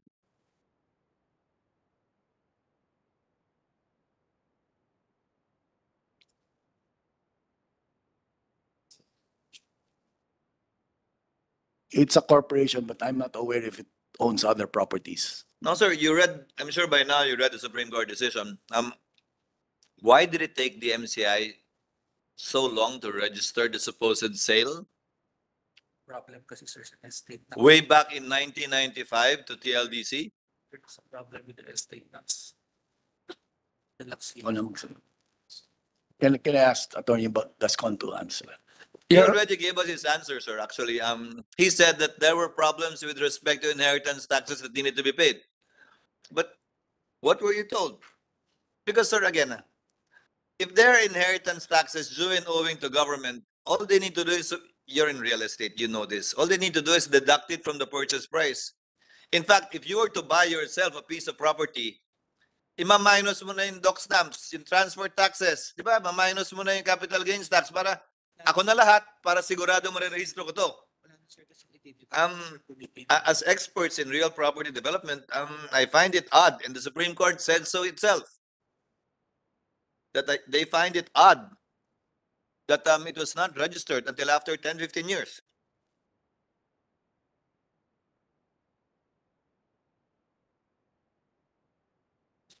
Sir, Well, from your perspective, the why was it not registered? Didn't you investigate? Di ka ba nagtaka? Kung na-register lang sana noon pa to, wala kayong sakit ng ulo eh. Di ba? Why did So- you not do it? Well, to your first question, the, the property was fully paid already. No. That's why, um, it was the responsibility of the seller to take care of, uh, any taxes. Sir, again, Mhm. you and I both know that it's common practice that the buyer usually takes care of everything to make sure. Now, you bought a piece of property from me and I did not pay the taxes. You can never consolidate your ownership. Shouldn't it be your lookout? Nabayaran na ako eh. Di problema nyo na yan, di ko babayaran yung tax. Habulin nyo ako kung gusto nyo akong habulin. As a real property developer, you don't do that. You mm. don't leave it to chance. You don't let the buyer decide these matters and these things. You should exercise due diligence insofar as your dealings are concerned. So, in this particular instance, why was it not done? Bakit hinayaan niyo yung buyer mag-desisyon sa sarili niya ng sampung taon na hindi bayaran yon, bayad niyo na siya, and you cannot register the sale in your name?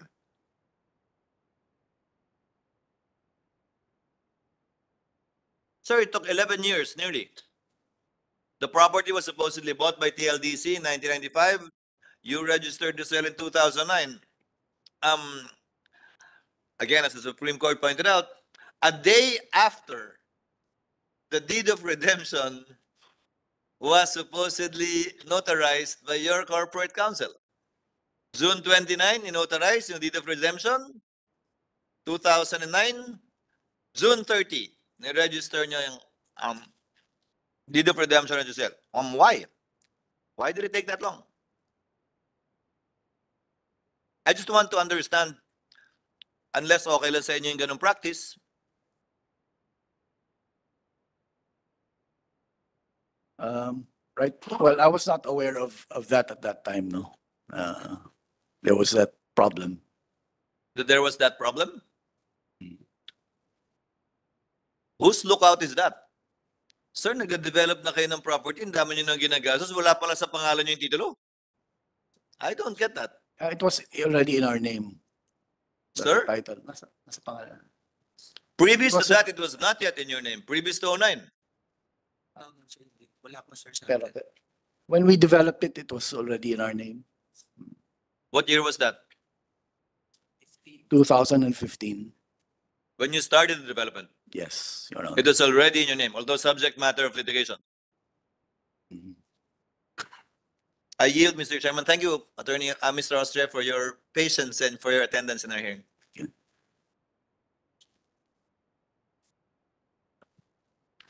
Thank you, uh, uh, Senator Cheese. Mr. Austria, can you confirm that, uh, using the falsified, uh, deed of redemption as a basis of ownership claim, the DMCI filed a petition for, uh, certiorari before the, uh, with the Court of Appeals, questioning the registration of the NLRC's, uh, entry of judgment? Baka wala ka na comment. Anong ulang? Yes, Your Honor. All right. Using the falsified deed of redemption, huh? Okay, can you confirm that using a falsified deed of redemption So it was, as a basis of ownership claim, DMCI filed a complaint for quieting of title involving the subject property before the RTC of Pasig City to oppose the registration of the entry of judgment. Can you confirm that? sorry, sorry, Senator. So at that time, it was not, uh, it was not declared falsified and, um, Or when did you know that it was falsified? sorry. When did you know that it was falsified? Well, mm, up to now, um, it's, it's really actually not falsified. That's why there's a motion. That's It was not falsified? sir, lumabas yung decision, observation. Supreme Uh, when? Now, now, It's only now that we, we got to know of the Supreme Court decision, on observation that it's falsified, no, but it's actually, But it was the Supreme Court who told, eh, uh, in its uh, written decision that uh, the deed of redemption is falsified. Am I correct? si Manso, papa ng mali. Was only this red line. Sandali. sorry, can, can you repeat the question, sir? It was, uh, I believe it was uh, written in the decision of the Supreme Court that the the deed of redemption is falsified. Am I right? Am I correct? Uh, Your Honor, That is my understanding. based on the findings of the Supreme Court, uh, the labor arbiter issued an order nullifying the deed of redemption and certificate and the release and quit claim in an order dated January Uh, 4, It was the NLRC. the uh, the labor arbiter, Your That's not correct. January Okay. 4, 2011. Uh, DMCI filed the quieting of title on November 10, 2011. So the order came first, January 4, 2011, nullifying the deed of redemption. Mhm. And the quieting of title was filed November 10, 2011, Your Honor. So a period of uh, 10, uh, 11 months, 10 months to 11 months, Your Honor. Okay, uh. Can you confirm that the Supreme Court in its resolution dated March twenty-two uh, of this year in uh, GR number twenty-three five two six nine ruled that DMCI is guilty of committing forum shopping when it filed a complaint for quieting of title with the RTC and a petition for certiorari before the Court of Appeals? Can you confirm that? Yes, it's a subject of an MR. Hmm.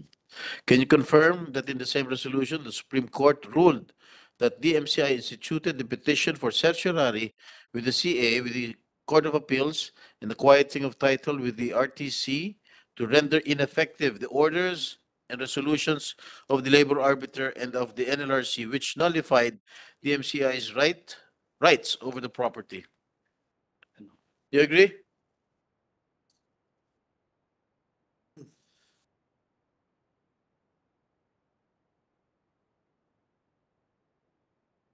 Sandali lang, sir. All right.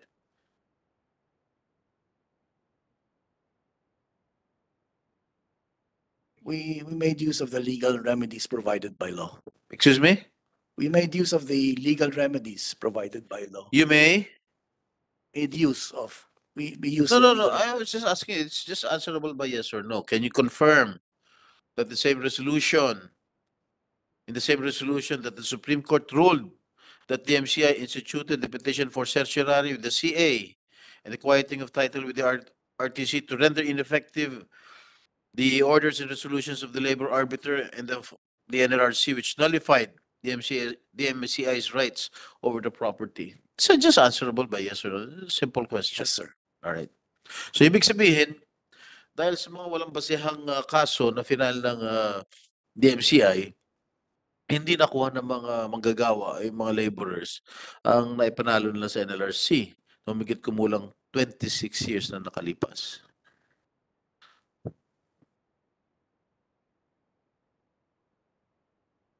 Kasi Nag- you affirmed all my questions. Nag, ah, You answered in the affirmative. Di ba? Yeah. Yes, sir. But, uh, we- Dahil yung mga iba to, NLRC ruling with um, which is final and executory, Supreme Court ruling, uh, decisions. we have, Ano? we have compensated po yung five of the six workers. You have? Compa- we have paid five of the six workers recently. alam mo nagugulan ako ah. Nag-merge na kayo ng DMCI at Taguig Land. Am I correct? Kung kayo ng owner ng property, why do you have to settle with them? Kayo ng owner, wala na kayo pakialam sa kanila. Why do you have to settle with them, with the laborers?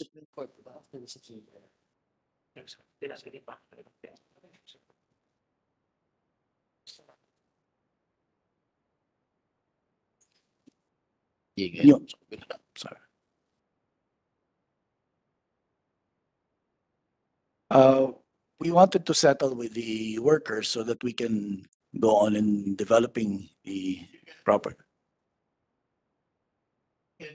So we, so that, uh, there will be no more problems in the development, no? We settled, and it also, Ako na may-ari ng lupa, eh, kakausapin ko ba sila? Sila dapat kumausap sa akin. Di ba? Which is quite logical. Hmm.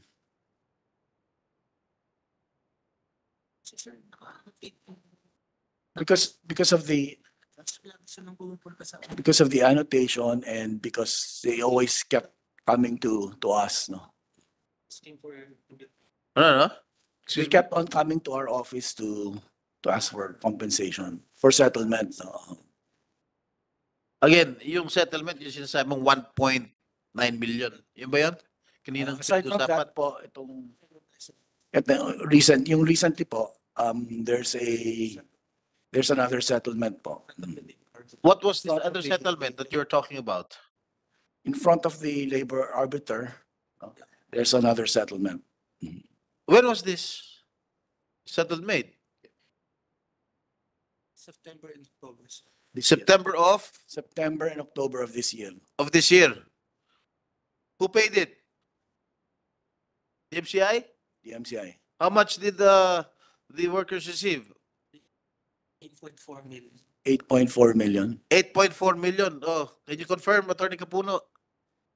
Uh, Your Honor, we're not certain about the amount they actually received, but I think that's the amount they disclosed before the labor arbiter, Your Honor. That was the topic of the query earlier, Your Honor, when DMCI went directly to the laborers for settlement without the participation of the lawyer, Your Honor. Okay, it was, uh, did, uh, was, uh, Lil- Mr. Lillo compensated? No? Uh, no, Your Honor, he did not participate. He testified earlier that he was invited to participate by, uh, the MCI, Your Honor. Your Honor, if, if I may add regarding the decision of the Supreme Court, the first division's, uh, decision.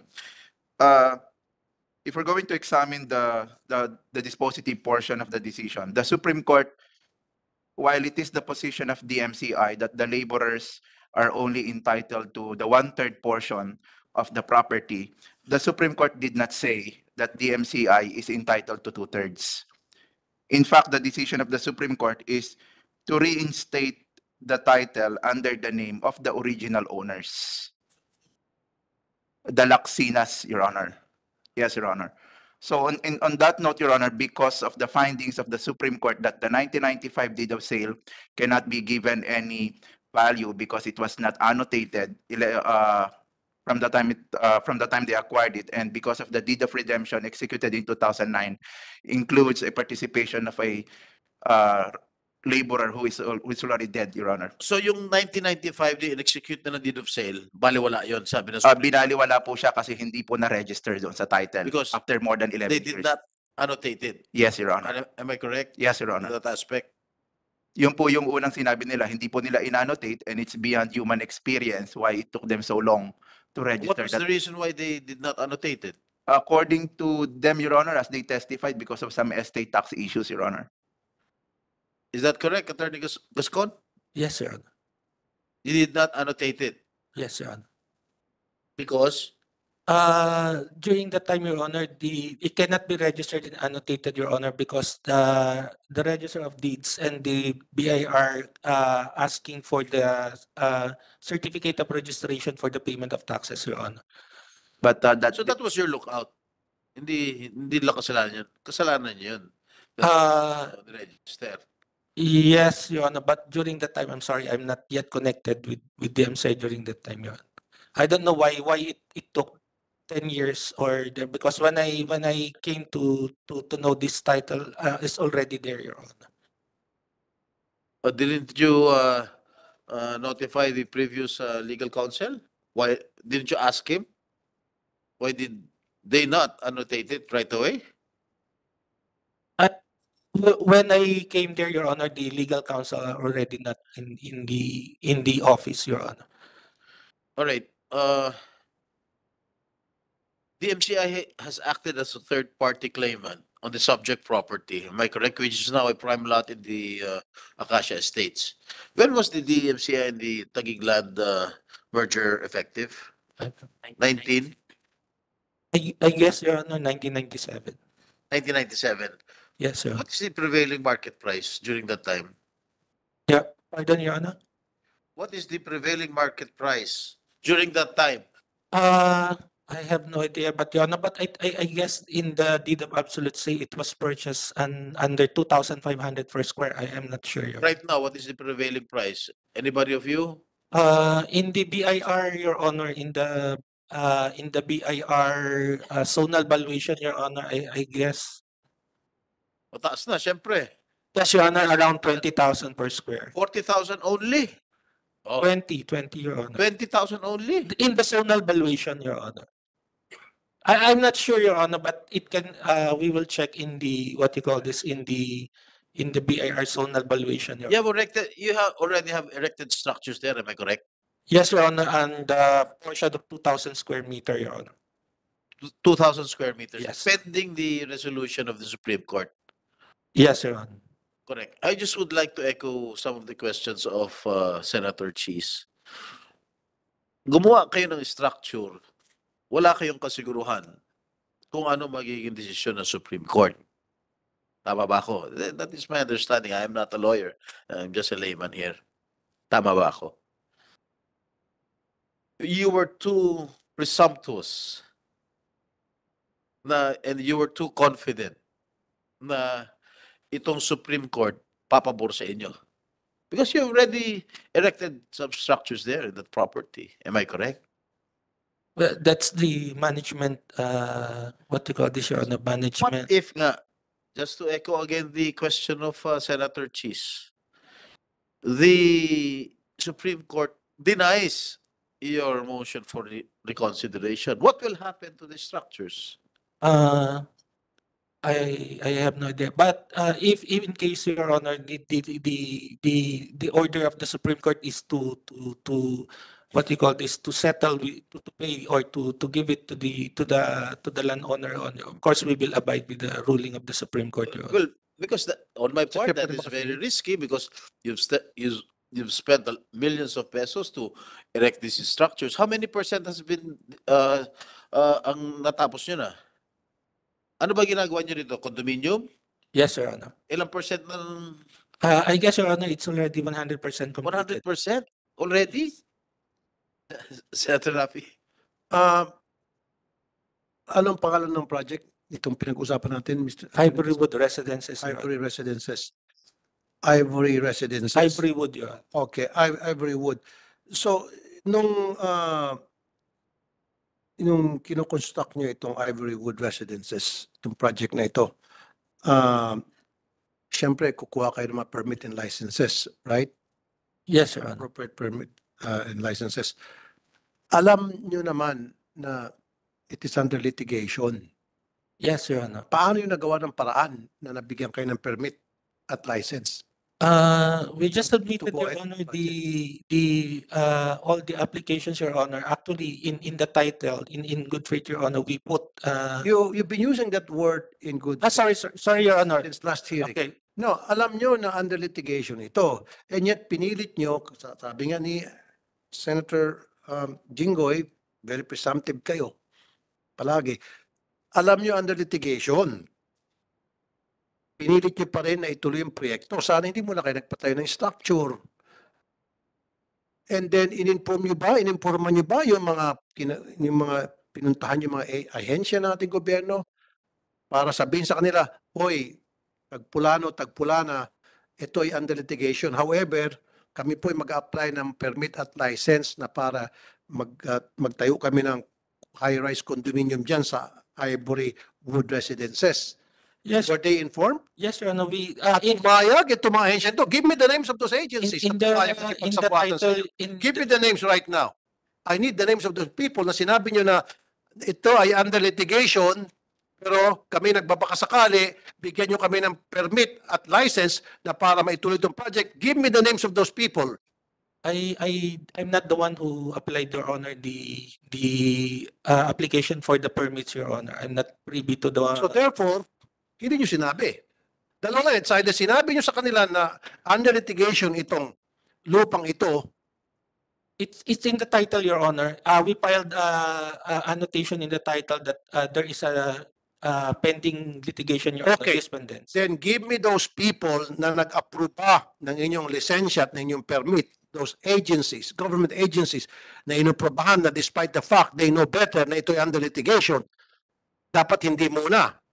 I don't know, Your Honor, who, who, because I, I have said I'm not the one who applied the, the permits, Your Honor. It's in two thousand nine, Your Honor. I don't know, I am not in the one. Dahil nga dyan sa inyong padalos-dalos na yan, there's this big possibility na itong mga itong mga nakabili na ng mga unit dyan sa Ivory World Residences, magmumukhang kawawa, magiging homeless, mawawala.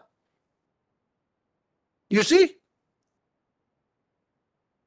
You know that, right? Sabi nga ni Senator Jinggoy, ano kung dumating yung time, sinabi ng Supreme Court Finance Executor- Executory, wala ng MRMR, panalo na sila.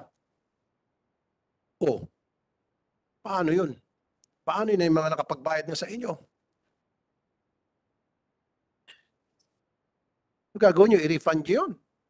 Just to interject, no, uh, Senator Rafi, uh, sinabi niyo it was already 100% uh, finished, the project, the Ivory Residences, correct? Yes, Your Honor. Nag-pre, nag, uh, benta na pa kayo ng mga unit. Yes, Your Honor. Ilan percent na yung uh, nabentahan ninyo? Is it uh, 100%. almost occupied? Fully It's occupied? occupied. It's fully occupied. Fully occupied? Mm. Ah, parang, an- pa- kasi sa akin parang ang lakas-lakas naman loob nyo na nagbent, nagpatayo kayo ng structure, ng condominium, nagbenta kayo, nag-pre-sell kayo, probably nag-pre-selling pa kayo noong, ar- noong araw. Tapos ngayon, uh, you admitted that uh, it has already Yeah. been sold. Every every unit has already been sold. Sabi nga, pagka sinabi ng Supreme Court, hindi hindi kayo pinanigan, kinatigan. What will happen to the So to the buyers of these uh, units that you have sold to them? So, sige po. For, first of all po, um, I was not aware na, um, na may problema yung, ano, yung Didn't didn't you settlement, inform yung settlement. didn't you inform these uh, clients of yours or the buyers of yours that this land is still undisputed, is is still disputed? Nasa, Didn't you inform them? Ako, gusto ko bumili ng unit. Oy, ganda nito. Hindi mo ba sinabi, hindi mo ba ako sasabihan na, oh, ito ha, may, may problema pa itong lupang to ha? So actually, I'm aware. As a buyer, I am aware. actually po, um, the development is maybe around more than three hectares po. And then the, this particular property is at the edge of that, that entire development. No. This is still a disputed property before the Supreme Court. Correct? Yes, Oh. Your Honor. Didn't you inf- I was just asking, very elementary lang naman yung question ko eh. Did you, did you not, did you not notify the buyers of your units? That may problema that this land is still disputed before the Supreme Court, na may kaso pa. Kasi kung sasabihan mo ko, hindi ako bibili, matatakot ako. Mhm. Di ba? So, parang niloko nyo yung itong mga buyers mo ng units. Eh, pagka sinabi ng Korte Suprema, talo kayo, o paano? Paano, paano yung unit ko? Pa palalayasin nyo kami ron. Palala eh, Siyempre, talo kayo eh.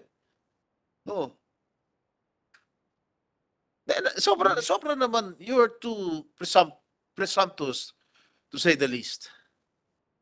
Kasingitin, Mr. Chair. Yeah, please. Uh, Attorney Gascon, on our next hearing, I want those people from the different agencies that gave you the permit and licenses to go ahead with the project, that gave you the go signal na ituloy yung project, despite the fact that they knew na ito ay under litigation. I want them here in the next hearing, and Mr. Chair, under oath, let's put them under oath and let them talk. Produce those people. Kasi sabi mo, nandun sa annotation, alam nila under litigation and yet pinayagan pa rin na bigyan ng green light ang proyektong yan na dapat hindi.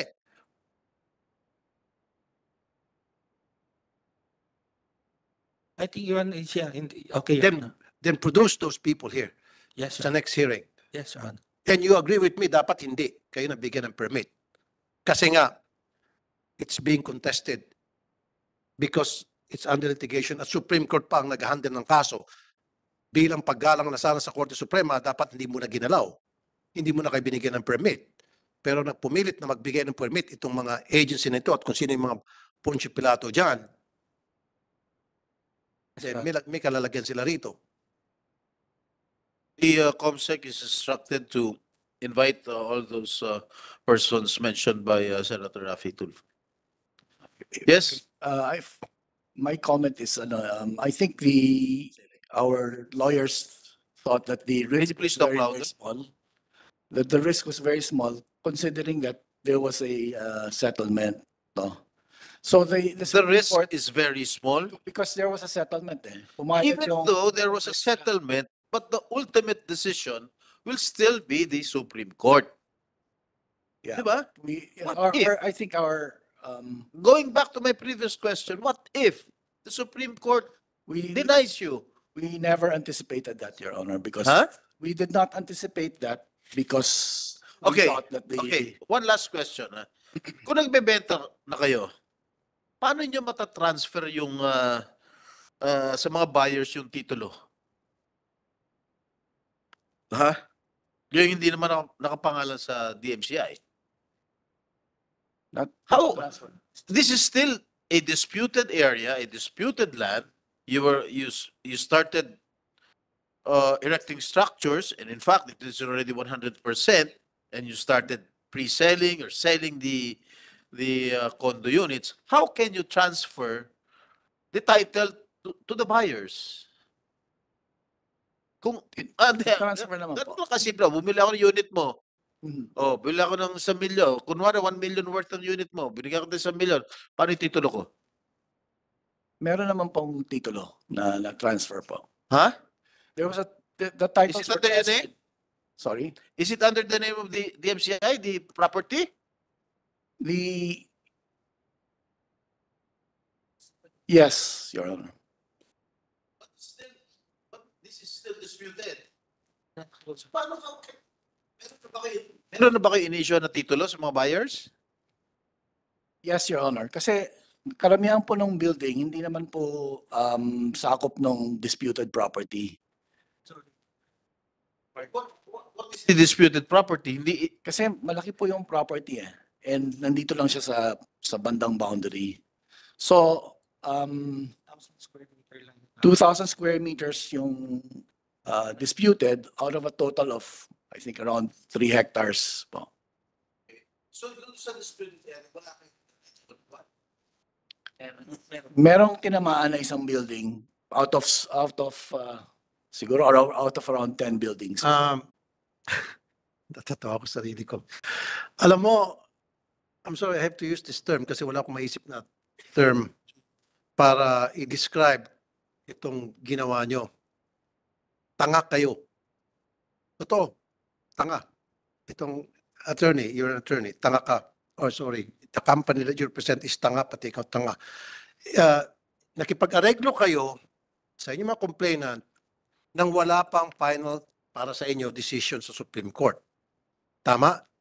Naka-MR kayo. Gumugulong yung kaso sa Supreme Court. Pinayaran nyo sila. Dumating yung time, sinabi ng Supreme Court, ito yung desisyon namin na dapat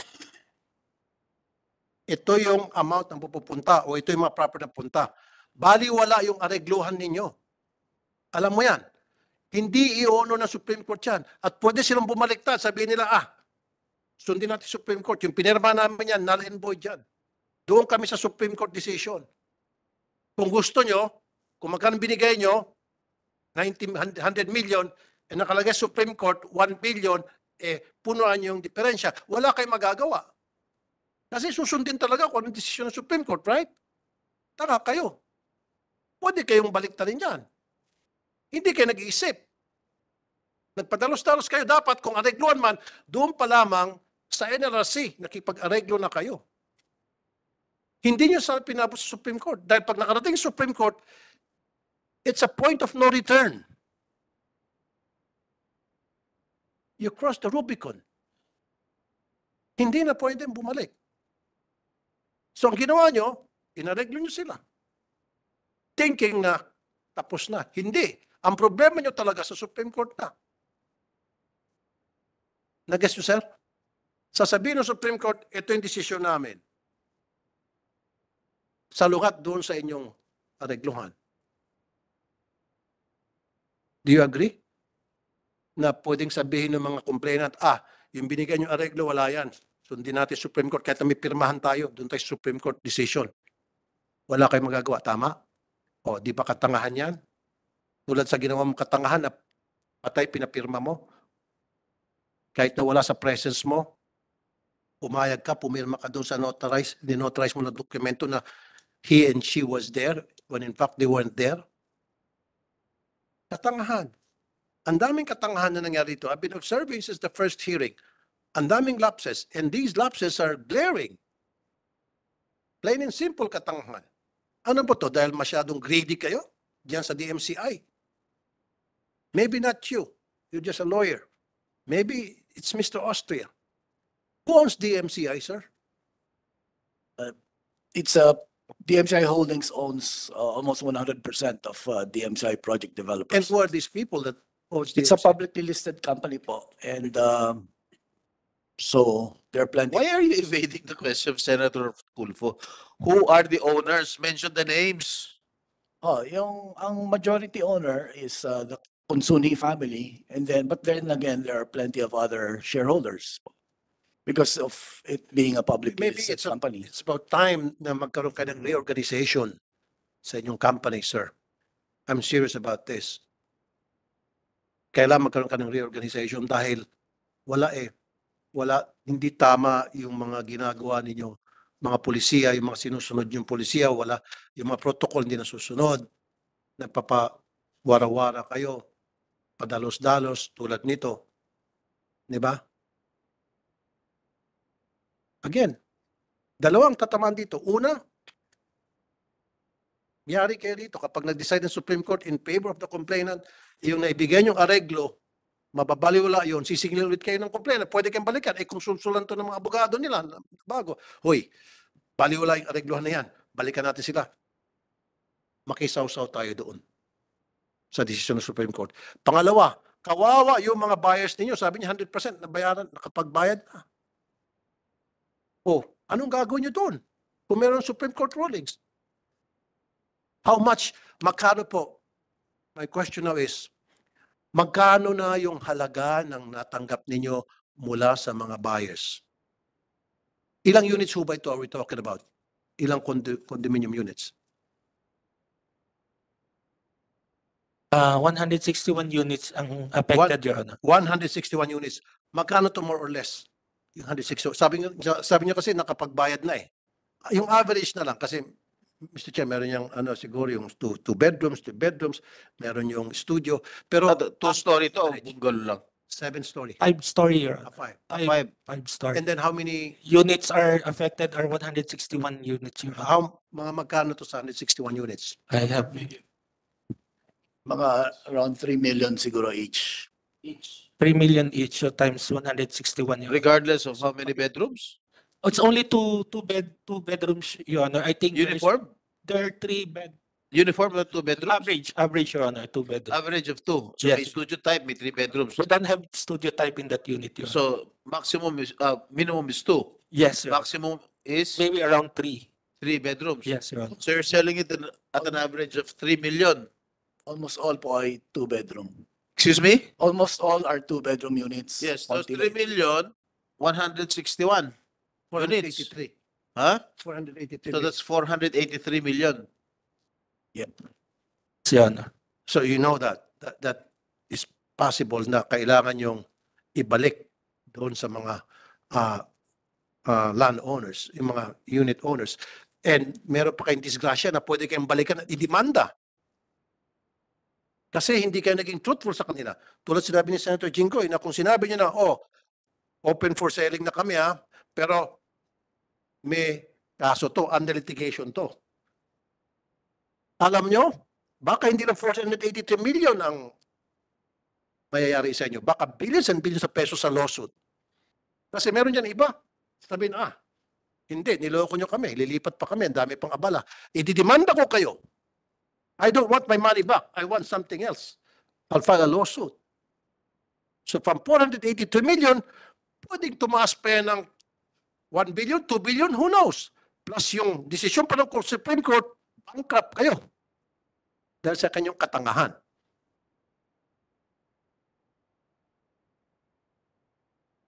So Mr. Chair, next hearing, I, I would like to see those people. Yes, na- we will uh, conduct the next hearing either next, uh, either Tuesday or Wednesday next week. Uh, Depends on the availability of uh, the uh, committee rooms. And I expect your attendance again on, uh, on next week, uh, including those uh, that were mentioned by Senators uh, Escudero and Tulfo.